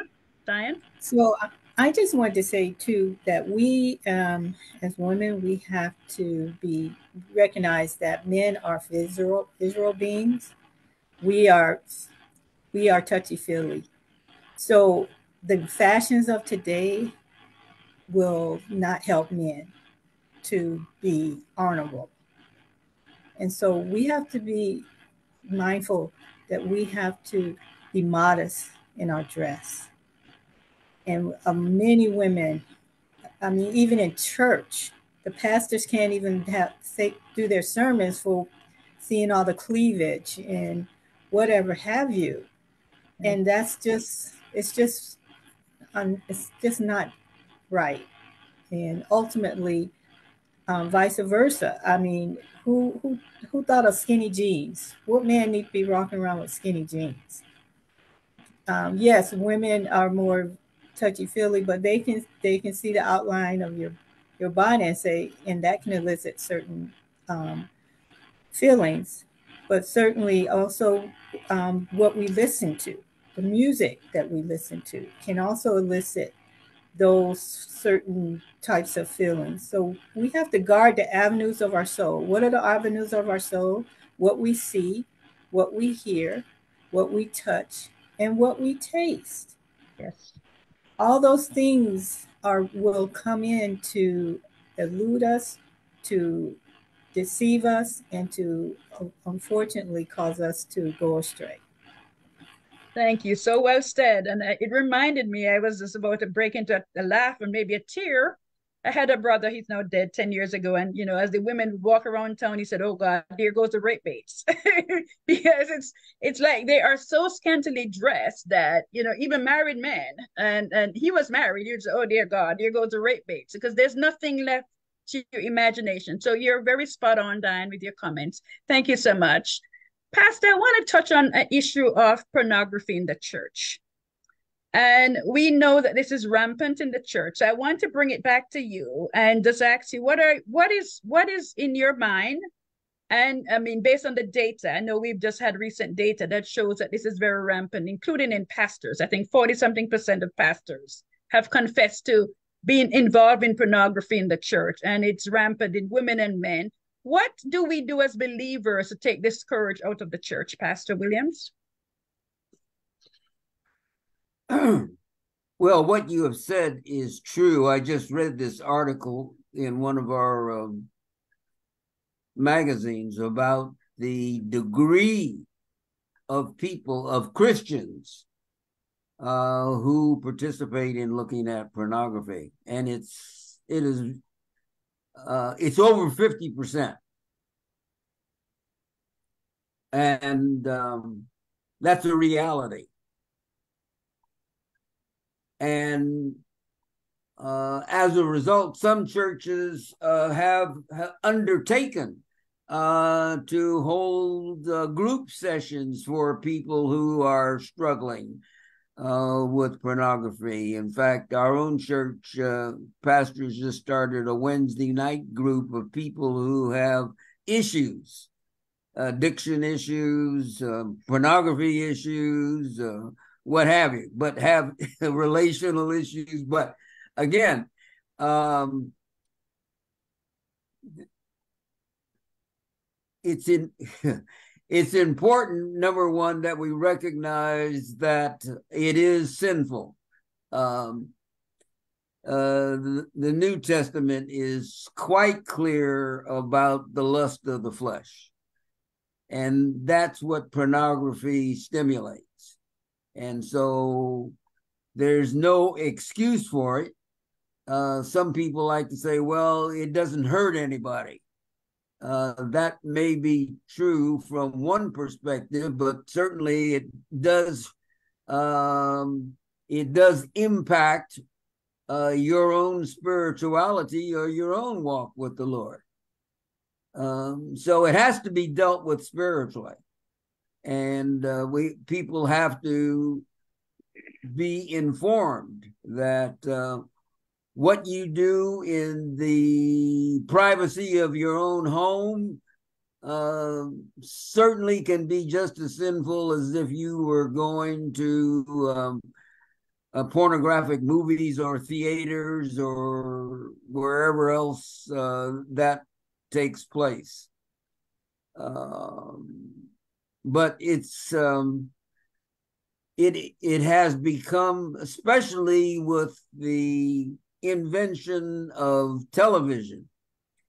It used to be that the only place pornography was in, in little magazines that were hidden in the drugstore.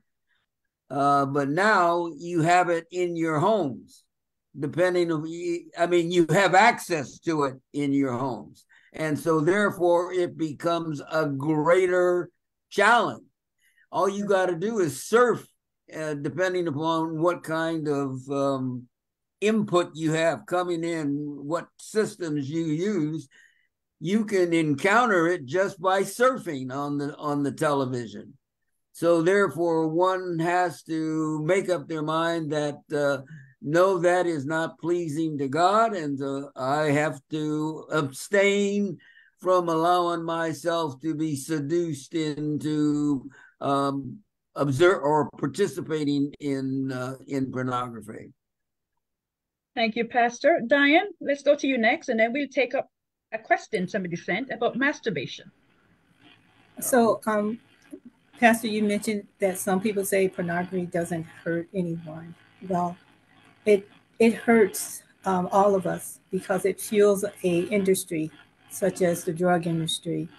It fuels the sex trade industry. Yeah, all those Yeah, and that's what people don't realize. They're fueling those industries. When people um, do buy into certain things, they don't realize they're fueling a criminal element that is hurting our society. And so, but they don't see because they don't see the cause and effect. They don't see the chain that got them to where they are and who was involved. Little kids being forced into that. I, I read a, a story about a guy who was into pornography, and he was a, a Christian singer actually.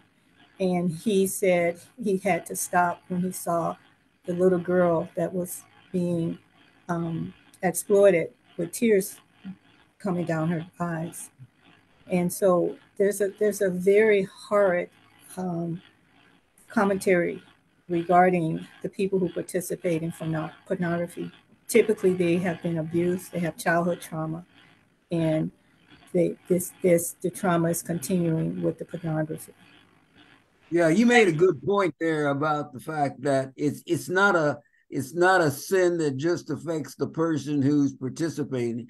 It it it it can impact many others, uh, which makes it all the more sordid and all the more sinful. Thank you, Pastor. Thanks, Diane. Anybody else? Any comments on pornography? Um, uh, this is a scourge in the a scourge in the church, including with our pastors, and so we have to pray for them. And God tells us to pray for those in authority above us, and so we should be praying for our pastors, praying for our leaders, our bosses, because I mean, if fifty percent of people in the church is in, involved in this, you know somebody who's caught up into this into this sin. So we pray, and and and and God uh, hopefully come alongside them and encourage them to change. Um, I have a few comments. Somebody made a comment that um, pornography also hurts a family, and I think we all agree to that. And there's some other comments into the chat, and I'll come to that. Pastor, the taboo topic of masturbation is something that, that somebody is insisting that I ask you about. It's some it's it's not clearly documented in the Bible that you know if you do this you're going to go to hell. But talk to us a little bit about solo sex and singleness or even marriage. Say that solo sex? Is that what you said? That's a that's a term that's it's called in research. That's the first time i've heard that my life. well go, google it and you'll see. Tons of research including out of the cdc on this topic. Oh this is CDC. very rampant in the country. And so the national health um, um, surveys is picking some of that up and it's gets it's getting worse with covid. So what is the bible stance on this pastor well, there's no there's no explicit um, commentary or instruction in the Bible on it. You have to look at if if uh, you have to look at other scriptures though to see that might be related to it. And once again, we go back to what we were just talking about: pornography. Certainly, pornography could be a uh, would contribute to somebody wanting to engage in masturbation. And again, and so if we connect the dots, then it goes back to well, what kind of thoughts do you have to have for it? And then it would that would lead us to come to those scriptures that talk about uh, living a pure life, having pure thoughts, uh, not engaging in anything that is sensual and lustful. And I would say those would be the um, those would be the scriptures that I would want to use uh, with respect to that issue. Thank you, Pastor.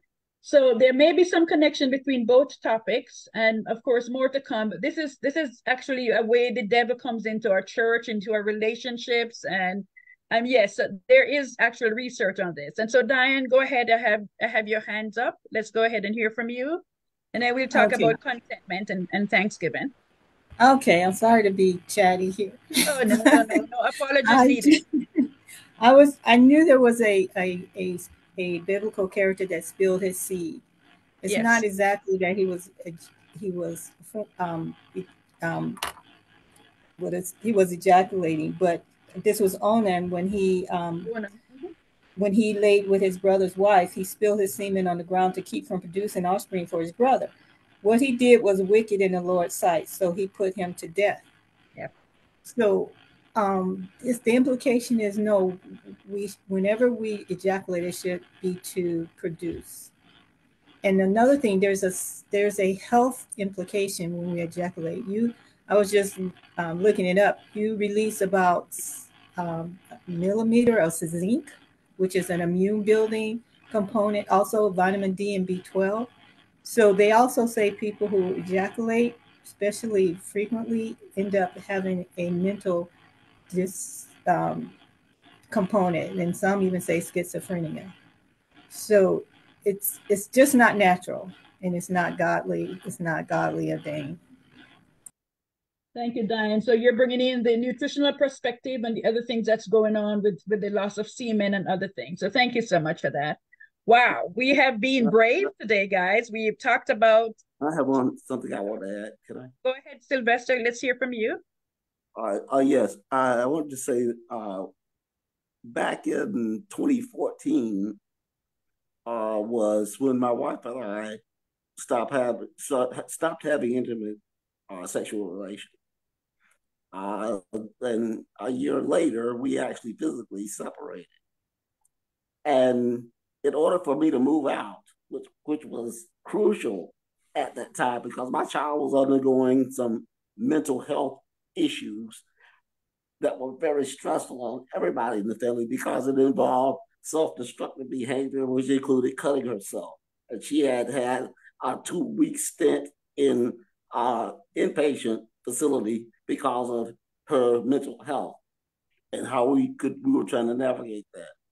So I was convinced by my wife that I needed to be removed from the situation in order for my daughter to get better. So yes, I participated in getting myself extricated from that home because I wanted my daughter to get better.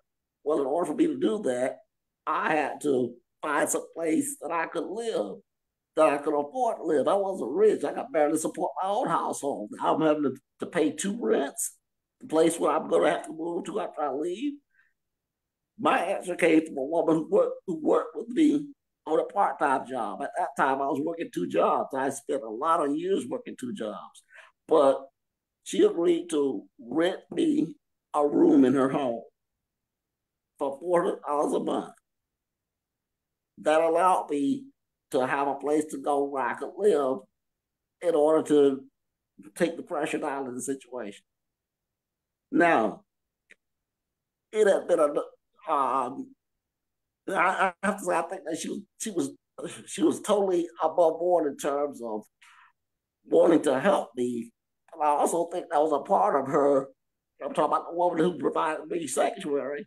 I also think that was a part of her that was desiring me or somehow think that I might be her solution to her bandless issue. Okay, because it came very clear to me very quickly, you know, that she had an interest in that way. But even though that, you know, she still had some timidity, she wouldn't just approach me because she she she had a relationship with God. She knew it wasn't right. You know, she had a ministry. So, but I don't want to also be in a situation like that. I have to say, my need, because I, you know, I was feeling tremendous uh, sexual need because I had relations with my wife for decades. And I resorted to masturbation because I knew that I need to keep my hands off this woman regardless. So I elected to do that rather than invite somebody else into my sin and then two people are sinning. So it gave me a little bit of shelter. And I was able to navigate that situation until I got to a better situation. And this is about forgiveness. This whole thing is, and I can't reiterate enough that we need to forgive ourselves even as much, if not more, than other people. Yes. Okay, because the devil has been able to use guilt as a tool with which to batter us into bloody messes. Okay? And Jesus came to set the captive free. So we are free from guilt because we are the righteousness of God in Christ Jesus. And, Amen. and I had to come to that to understand that scripture in a new way because I had just lost my home. I lost my family. I lost my finances because the devil used my wife to destroy my finances. But I needed to that. I needed that to happen. There was God behind my finances being destroyed because money had become my God with a small G. And. Lord showed me that. He showed me that. So I understand that. And, I, and I'll be ever, I'm ever grateful for the fact that my wife, my finances were destroyed because it it was what God used to bring me because he's the author and finisher of my faith. He brought me to where I am in my faith walk, which is beyond any place I could have ever been if I had been able to have money. Because it's easy for people to have money to avoid God because they think money's their, answer to everything.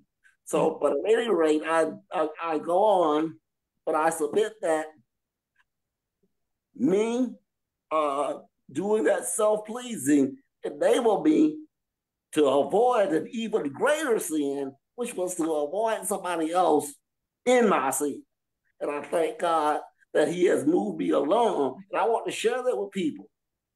If you fall, allow yourself to fail. If you don't, you don't need a savior. And we all need a savior. Uh, Amen. So, I, I'm, not, I'm not preaching, but uh, I, I feel very strongly about what God has showed me. Thank you for your transparency and being able to share. That was brave of you. So thank you. And I, I hope somebody listens and will learn from it. But I hear you totally. As we get ready to wrap this up today, I want to thank everybody. So I want to start with sort of talking about two things. Where is where is your what is your level of contentment? What are your plans for Thanksgiving? Are some of the questions I have. And if you have any final thoughts on the issue of forgiveness. So, level of contentment with where you are and gratitude. Any plans you might have for um, for Thanksgiving and forgiveness. So let's start with you, Demita. What are your what's your level of contentment and gratitude for you know where you are right now? Your plans for Thanksgiving and anything else you want to say about forgiveness? Okay. Um, my level of contentment, I think that I'm very content where I am right now. I'm very pleased and happy with my life. Um, I thank God um, that He uh, has kept me the way that He has. So I'm I'm very happy right where I am. As far as Thanksgiving, um, my immediate family, we are planning to stay here at home and um, just cook and be with each other. Um, and what was the other question? Oh, and as far as forgiveness, um, I think just you know with talking about all of this i'm interested in uh seeking more with that i think i've done some level of forgiveness in many areas in my life but i think that there's still more that i need to do thanks Demita. we'd love to have you on our friday night groups diana hodge let's hear from you as i go back to sharing the screen um okay for contentment wise i am certainly content i am I um, I take it a day at a time. That's how I live my life. I have what is the biblical principle? Um, today is the, the, the troubles of today is enough to handle and to, you know leave it at that. But nevertheless, um, so I am content. I I think I've done. I, I made some great strides in, in my livelihood, my life, and ultimately I have a lot more to do and more for the Lord. So I'm I'm happy. I I um, have a Thanksgiving with friends coming up. Um, I have purchased a home in a different state, and that's where I will be. And so I'm transitioning into retirement, and um, that is really another source of contentment. Yay! and so I'm not retiring from work per se, from working, but retiring from the federal system and wanting to do more of the Lord's work. And then forgiveness is something that's always been a part of me. I from from being a child, I can remember just not holding on to stuff. But mind you, I'm not saying that I'm 100% forgiving, not forgiving, but mostly I'm a very forgiving person, especially if the people come to me to say, you know, I'm sorry. But um, with that said, if someone has done me wrong, I do keep that in, in mind, in check, so that I don't get bitten again. But a lot of times I even forget what people have done to me. And it's not a matter of even forgiveness. I, well, what did they do again? What, was I supposed to remember about these people? So I won't, they don't do it again. I, I didn't even remember. So ultimately, um, I do know that I feel that a lot of people who don't forgive, they have such mental anguish. It's such a horrible thing. So we must forgive so that we can be forgiven. Thank you, Diana. Pastor Williams. Emmanuel, you're you're widowed. What is your level of contentment? Um, what are your plans for Thanksgiving? And what, as a pastor, do you have on the word of forgiveness, given all of what we've talked about today? Masturbation, porn, pornography, singleness. Final thoughts from you, Pastor? All of that, huh? Yes, sir. Uh, with respect to contentment, uh, I would say that uh, my approach, or yes, my approach to contentment is to stay busy. And so I overcommit myself uh, uh, to various activities, to include being a part of forgiveness ministries. Um, but that is the way I deal with uh, living by myself is to um, to uh, be involved in um, in church activities and also to travel. Uh, just I just came back from a two week trip to Vietnam, uh, a ministry trip to Vietnam, and uh, before COVID, I was going overseas probably two or three times a year. Uh, so that has I find that as long as I keep my mind occupied and stay busy, uh, the level of contentment is that is that is a reachable reachable goal. Uh, for Thanksgiving, my plans are to spend it with my son and his family in Virginia, in Norfolk, and uh, with res- that's something that I've been doing oh for a number of years now. Um, the only issue is how do I go? Do I drive or do I fly? And my children want me not to drive and they want me to fly, but that's an issue that I have. Uh, so uh, that's unresolved at this point. Um, as far as forgiveness is concerned, uh, that was something that was preached uh, or drilled into me uh, a long time ago. And um, I recognize certainly the scripture, again, is quite clear. And we often overlook it, but the the fundamental biblical answer to this is in the Lord's Prayer, where Jesus says, for us to forgive those who trespass against us. Um, so using that as a starting point, it certainly should be the goal of all believers.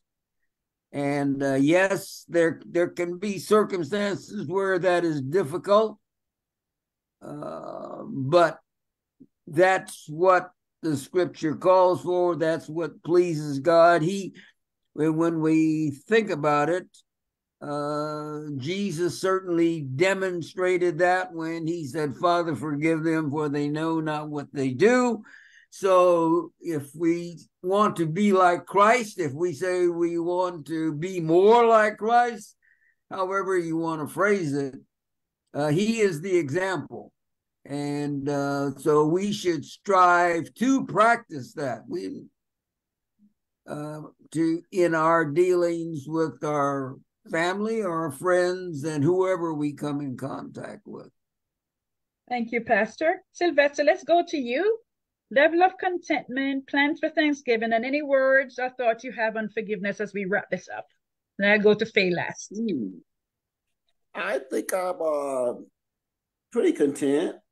Um, and I'm trying to sort out what I need to do from day to day because, as I said, I'm trying to uh, build a business. I'm trying to, and, and learning how to speak Spanish is an integral part of that because I'm looking to market myself to the Spanish speaking community. I mean, I want to have the, the sky's the limit as far as the people that I can can help because the business is about helping people in their finances. And uh, what else? I've got those things going on. Um, well, that's enough, really. And I still try to find time for myself. I, I want to get my securities license, which I'm looking very much forward to. That I'm excited about, you know, studying finances at a high level. Uh, when I finish the securities license, you know, I would be equipped to become a hedge fund manager. A hedge fund manager. That's wow. I mean, people with MBAs who don't manage hedge, hedge funds, but you have to prove yourself. So I'm looking forward to that. And now that I've got this money thing dealt with, God can bless me. And I expect him to do that very thing because I have my perspective right now. So I'm excited. Thank you, Sylvester. Anything on thanks, um, Thanksgiving or forgiveness? Any final word on forgiveness before we go to faith? Faith? Oh, on me? Oh, yes. oh I, I, think I said it earlier. Forgiveness is important. It's, it's all throughout the scriptures. We know how important it is, but we have to also remember to forgive ourselves. Yes. That's my final word. Is forgiveness that you have to give to others for the benefit of yourself, and forgiveness that you have to give yourself for the benefit of yourself. Thank you, Sylvester. Faye, what about you? Final words? Yes. Um, content walking in purpose, walking in walking in my purpose. Um, and that's in ministry, now in ministry. And Thanksgiving, um, spending that time, of course, with family. Uh, and uh, as far as forgiveness is concerned, I find that when I forgive others, it sets me free. So um, forgiveness as a li- very liberate, liberating uh, concept. Yeah, that's a good point. Wow. Thank you, everybody. Um, I think I'm sharing my screen now. Hopefully you can see it. Um, wow. Yes, now we can. Powerful session. Um, thank you. Thank you for your candid conversation around the topic. Thank you for bringing the, the perspective of never single, never married, married, widowed, and, and divorced to this conversation. I trust that everybody listening and those who will listen on Facebook Live as well as on YouTube will find that they were benefited from listening in today. I can I cannot thank you enough for taking time to be with us. I have a few quick slides, and then I'll have um, I'll ask Mrs. Gardenhire to pray over us. So I just, you know, we've talked a lot about dating relationship. We've talked about singleness. We've talked about some very taboo topic. But I think for me, one of the things I remember clearly always telling my singles when I ran singles ministry is whether you're a man or a woman, you need to start thinking about your potential partner as a brother or sister in Christ. So it's a call to action to all of us. If you look at that man or that woman as a brother and sister in Christ, and you treat them differently. It's not a game. It's they're not a toy in your hand. You're not there to be their maid, as, as Diana talked about earlier. So we need to we, we are calling you back to that. If and also if all, almost 50% of American adults are single, then we all know somebody who need this message. So we need to share it. Send them to um, Facebook. Have them send them to, to, to me for a link. But let's talk a little bit about some of these issues. And then we need to all work to implement the healthy relationship tips we heard today. We also encourage you to pray over your family. So if they're married or wherever they are, their relationships will thrive. And model the life you want to lead. You heard pastors' children here or people who grew up in the faith. And they are models now for us because they saw what they, you know, you are the book people read. So, what books are your children reading or your grandchildren reading? We need to be careful of all those. And then we have to work to align our actions with God's righteousness to live out our Christian values. We can't say we are Christians or a man or a woman, and you know, the first thing you want to do on a date is to take somebody's clothes off. You are not god Um, don't haste to do anything. Remember to bathe everything in prayer. So whether we're single and discontented with that, or we're single and we're happy, We always talking and connecting with people and having relationships. So we have to bathe everything we do in prayers. And then seek godly counsel, as somebody said earlier, to build accountability into your life. Commit your ways to God. The Bible clearly tells us that in Proverbs. And then get, daily go to God's word to seek the answers and, and have that word change us. And then last but not least, surrendering everything to God and forgiving yourself, others, and situations. I think we said that several times throughout the day. So whether you're falling into sexual sin, whether you have done something inappropriate otherwise, it doesn't matter. God's grace is sufficient. We just need to go to Him for help. And I have a few other things. We have a, some quick announcement here about the ministry's work. We have some resources. If people want to hear it, single and parenting resources, we have our, our They Speak from the Pain of Divorce. We have groups that are here to support singles and all sort of resources here that is available for people listening. Um, I know we had some questions and answers in the chat, but um, we won't get to them today. So if I have to, I'll follow up with each of you with the questions. I want to invite people to our RT and forgiveness circles. That's on. We also have a program for kids on Saturday morning at 10 o'clock, one hour away from the from the parents. So they can come, they can draw and paint, doodle, and talk about it with other kids. This morning we had kids from Wyoming, kids from Florida, kids from Georgia painting, and you should see the things they painted. Where we're talking about the rich man and Lazarus, and if Jesus is the only way. Astute beyond their years, and the things that they talk about, you would not believe they're less than 14 years of age. So if you know people who have kids that are under 14, we'd love to have them for that hour on Saturday morning as they come to learn more about God and learn and meet others from all over the country and the world. Uh, we have a program that's offered in the workplace. Um, so if you if you're interested to have a workplace that needs people to talk, you know, to talk about things around discrimination, racism, and how to dismantle that in your workplace, we'd love to help. We do forgiveness at work boot camps. And then we are very proud that we have just published this forgiveness implementation guide. It's almost 300 pages long and it has enough content for a church, a ministry, um, a family could be a thing that you do in a family to pick up a copy of this and you have one year of content to implement these programs with fidelity anywhere you live. So anywhere you're hearing me um, today, this manual is available. It's on anywhere books are sold, Amazon, um, etc. It's even on our website. Uh, um, so please get a copy for your churches or your ministries. And Forgiveness Live is something we do. We're just ending this one for November. So we'll be back in December on the second Saturday of December. Uh, we have a monthly prayer call. So if you can't join us, send us your prayer request. We promise that we pray over every single one that comes. And the numbers on the screen for how to get in touch with us. Yesterday, we kicked off our Restoring Your Heart group. Um, it, it should say Monday, it should say Friday evenings, but it starts at 7.30 and I see some people were on there last night on the group. Everybody, it's free, but people are asked to, to buy a copy of the book because they'll have to read um, read some of the content before. But I think we had a great session last night. It was very informative. And so if you know somebody who needs their heart restored, please go ahead. So it's not it's not Mondays, it's Fridays. Um, it started last night. And and the registration is on Eventbrite, so people can register. Um, and just last but not least, we're a 501c3 organization. We are we are supported by your donations. So you can put us in your will or you could send us a monthly check. We'd love to have it. That is how we do the ministry's work.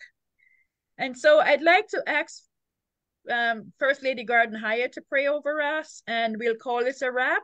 And thank you everybody for listening and for the panelists for coming to share their time and expertise. Faye, I'll turn it over to you now.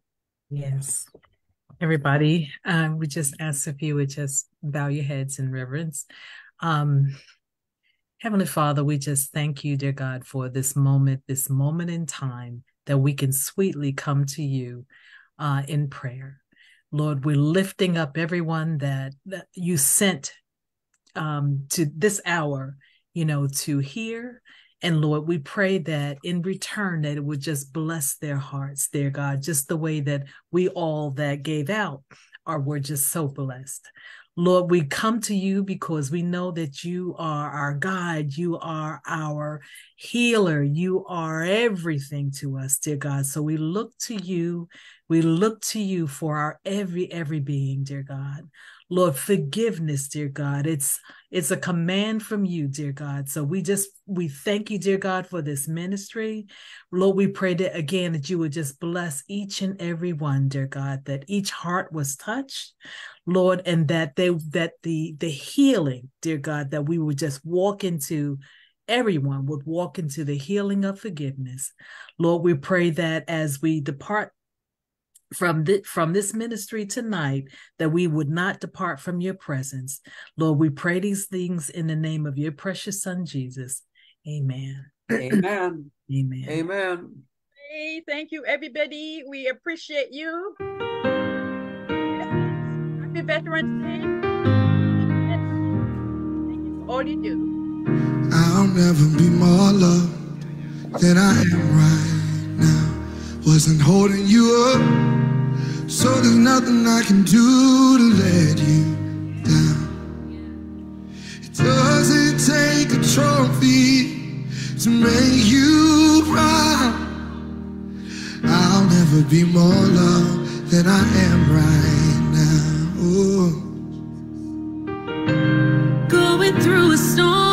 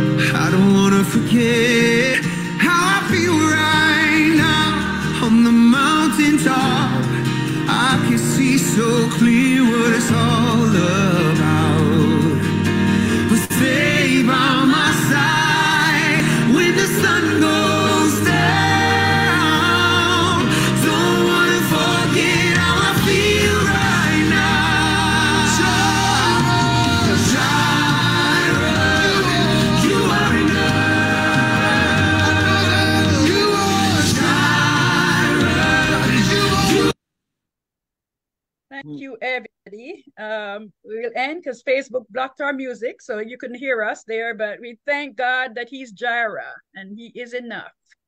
Have a good weekend, and thanks for all you do. Happy Veterans Day to each of you. Thank you so much for your time and for coming to this session today. Bye bye. Thank you. You're welcome. Happy Thanksgiving. Bye. Yeah, Yeah. happy Happy Thanksgiving, everybody. Thank to you. Yeah, Y'all have same.